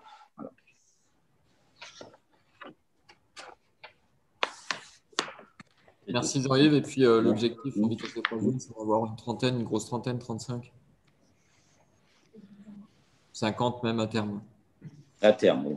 Mais c'est vrai que bon, la période actuelle peu favorable à, cette démarche, mais on va, y arriver. Euh, après la processus, le processus d'inscription par Parcoursup, donc c'était difficile pour le, premier année. Mm. J'ai une main levée de Daniel Faure et Maxime Gouru. Daniel Faure ah, Non, non. C'est une non, erreur. Il était resté levé tout à l'heure. Maxime Bourou, alors? Oui, je, me demandais voilà, qu'est-ce qui pouvait être. Euh, qu'est-ce qui pouvait ne pas correspondre euh, aux attentes des, étudiants s'ils ne venaient pas, ou au contraire, qu'est-ce qui pouvait correspondre à leurs attentes? Parce que, somme toute, malgré tout, la mise à disposition d'un débit Internet et de matériel informatique, ça, n'est pas, ça n'est pas extraordinaire. Alors euh, après, il y a la question effectivement, est-ce qu'on vise aussi des, étudiants avec des revenus, des revenus modestes et qui pour le coup eux, peuvent être intéressés par des, des moyens techniques. Et sinon, ça n'est pas forcément voilà, très, très, très engageant. Voilà. Alors, est-ce que vous avez une idée de, de, ce qui peut faire le succès ou pas de, de, de l'opération? Au contraire, c'est très engageant parce qu'il n'y a pas que, l'équipement technique qui bénéficie de l'accès aux services euh, de l'université, c'est-à-dire du centre d'études supérieures, la bibliothèque, tout, tout, ça. Ils ont un encadrement aussi, c'est-à-dire qu'il y a quelqu'un qui est là pour euh, un tuteur en fait, hein, qui les, les accompagne. C'est totalement différent que s'ils étaient chez eux, par exemple. Donc c'est vraiment s'insérer dans un cadre qui, qui, ressemble beaucoup à celui de l'université. Et puis, euh, c'est essentiellement pour les familles modestes, malgré tout, parce que mmh. c'est pour celles et ceux qui n'ont pas les moyens d'aller faire des études ailleurs, loin, de louer un appartement, de, de payer des droits d'inscription qui peuvent être aussi plus chers quand ils sont à l'extérieur des locaux. Enfin, voilà, donc il y a, et, en termes d'effectifs, là, il y a eu une signature, mais euh, encore une fois, la labellisation, elle s'est faite pendant, pendant l'été. Euh, la livraison des locaux s'est faite il y a un mois. Et on a beaucoup de contacts, notamment avec des footballeurs, pour vous donner un, un contexte qui peut intéresser de, footballeurs professionnels, donc qui sont au centre de formation et qui ont envie de suivre à côté euh, des études qui ne sont pas dispensées à Châteauroux, mais qui peuvent euh, suivre par le biais du campus connecté. Jean-Yves bon Juste, oui. Euh, pour répondre partiellement à votre question, M. Gourou, la, première étudiante donc, qui, qui, vient de s'inscrire, c'est une jeune maman qui veut préparer des concours administratifs catégorie C. Voilà. Et qui est très heureuse de pouvoir le faire dans ces conditions. Autre demande d'intervention? J'en vois pas. On peut passer au vote. Qui est contre? Personne. Qui s'abstient Personne. Unanimité. Je vous remercie. Dossier numéro 42, Office de tourisme de Châteauroux, approbation des nouveaux statuts. Tony Imbert. La délibération du Conseil communautaire du 18 décembre 2015 portant création d'un office de tourisme sous forme d'établissement public industriel et commercial, un EPIC, considérant la compétence de Châteauroux Métropole en matière de tourisme, il vous est proposé, conformément au Code du tourisme, l'Office de tourisme communautaire a été créé sous forme d'un EPIC au 1er janvier 2016. La communauté de communes Val-de-Lin, Brenne, CCVIB, qui regroupe les 12 communes suivantes, elles sont listées, vous les voyez. Celle-ci ne dispose pas d'accueil touristique sur son territoire. Donc, dans ce cadre, l'agglomération Châteauroux Métropole a été sollicitée pour que son office de tourisme communautaire agisse pour le territoire des cinq communes suivantes Nierne, Villedieu-sur-Indre, La Chapelle-Ortemal, Saint-Lactansin et Chézel, par le biais d'une convention de prestation de services prévoyant les engagements suivants entre les parties. Pour l'office de tourisme, donc la promotion du territoire concerné, l'intégration des nouvelles communes dans ces éditions, comme le guide touristique ou le guide pratique, l'animation du territoire avec l'organisation d'événements type marché gourmand, visite guidée dans les lieux d'intérêt touristique, l'intégration d'élus de la CCVIB au sein du comité de direction de l'Office de tourisme. Pour la CCVIB, le versement d'une subvention de 7 000 euros par an pour les actions de promotion et événementielles, la perception de la taxe de séjour sur les cinq communes reversée intégralement à l'Office de tourisme et de siéger au sein du comité de direction. Il convient d'approuver les modifications des statuts présentés par le comité de direction réuni dans sa séance du 30 septembre dernier. Il vous est donc proposé d'approuver les statuts tels que je vous les ai présentés. Merci. Est-ce qu'il y a des questions sur ce dossier touristique et l'extension du périmètre? Pas de questions. On peut passer au vote. Qui est contre? Personne qui s'abstient? Personne? Unanimité, je vous remercie. Dossier numéro 43 concerne les tarifs 2021 du camping du Rochat, Tony Imbert. Le Conseil communautaire du 6 novembre 2015 a retenu la proposition de la société Aqualex pour la gestion du camping du Rochat. La convention de délégation de services publics a été signée pour une durée de six ans, soit jusqu'au 24 novembre 2021. Le rapport d'activité 2019 présenté en CCSPL du 5 novembre dernier a montré une augmentation significative de la fréquentation sur l'ensemble de l'année, plus 3 746 nuitées. Il a permis de souligner la volonté du gérant de poursuivre la dynamique enclenchée depuis 2015 en collaboration avec les services de Châteauroux Métropole pour améliorer les services proposés à la clientèle. En fin d'année 2019, certains mobiles ont été remplacés afin de moderniser le, parc, des locations euh, mobiles. Euh, ci-dessous, vous trouverez donc les tarifs applicables à partir du, euh, du, 1er janvier 2021, inchangés par rapport à ceux de 2020. Donc, il vous est proposé d'approuver ces tarifs applicables dès l'année prochaine. Merci. Est-ce qu'il y a des demandes de parole? Je n'en vois pas. On peut passer au vote. Qui est contre? Les tarifs 2021 du camping Personne qui s'abstient? Personne? Unanimité? Je vous remercie. On va revenir au sujet euh, du campus connecté avec une convention de reversement, Jean-Yves Hugon.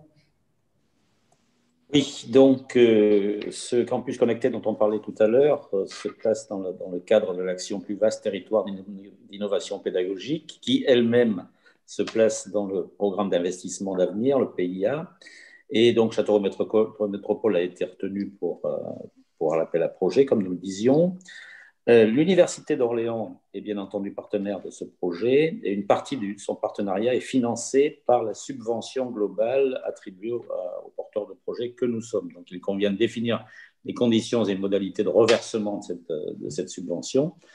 Donc l'université de proximité se voit attribuer une subvention de 50 000 euros qui lui sera reversée euh, selon l'échéancier euh, qui vous est mentionné. Premier versement, la signature de la convention, 20%, donc 10 000 euros. Deuxième versement, 40%, 20 000 euros. Et le solde, 40%, 20 000 euros. Voilà. Donc, donc proposé à notre conseil d'autoriser le président à signer cette convention. Merci euh, Jean-Yves. Est-ce qu'il y a des questions sur cette convention? Je n'en vois pas. Je vous propose de passer au vote. Qui est contre cette convention de reversement Personne qui s'abstient? Personne? Unanimité? Je vous remercie. Dossier numéro 45, adhésion à l'association Fabrique des territoires santé, Dominique Tourès. L'association euh, Fabrique Territoire euh, Santé euh, s'adresse à l'ensemble des acteurs parties prenantes dans la, dans la fabrique de dynamique territoriale de santé sur tout le territoire français, en particulier dans les quartiers prioritaires de la politique de la ville et les territoires ruraux. Je vous laisse le soin de, prendre connaissance ci-dessous des, des, différentes missions de cette association. Il est donc proposé au Conseil communautaire d'approuver l'adhésion à l'association Fabrique Territoire Santé pour un montant de 88 euros. Merci beaucoup, Dominique. Est-ce qu'il y a des questions sur cette euh, adhésion à l'association Fabrique Territoire Santé? Je ne vois pas de questions. On peut passer au vote. Qui est contre? Personne. Qui s'abstient? Personne. Unanimité donc. C'était le dernier sujet à l'ordre du jour de ce conseil communautaire un peu particulier. J'ai une bonne nouvelle pour vous tous. La première, c'est que le prochain conseil communautaire est le jeudi 17 décembre et la deuxième, c'est que ce sera en présentiel. Ce ne sera pas en vidéo. On aura donc l'occasion de se retrouver tous ensemble dans une salle dont on vous donnera les coordonnées en fonction de l'évolution sanitaire pour savoir si c'est euh, dans la salle du conseil municipal ou si on prend la salle des fêtes euh, ou un autre lieu de, Châteauroux mais ce sera obligatoirement en présentiel puisqu'il y aura à l'heure du jour euh, une élection de, vice-président en, remplacement de Ludovic Créo qui était démissionnaire et que les élections ne peuvent pas se faire en visioconférence, donc c'est obligatoirement par un vote en présentiel. Voilà. Merci de, votre patience euh, au regard de la multitude de problèmes techniques qu'on a eu au démarrage. Merci encore euh, de votre présence jusqu'au bout. Je vous souhaite une, une bonne soirée. Je vous dis à très bientôt. Au revoir à tous. Au revoir. Bonne soirée, merci. Au revoir. Bonne soirée, au revoir. Bonne soirée. Au revoir. Bonne soirée. Au revoir. Au revoir.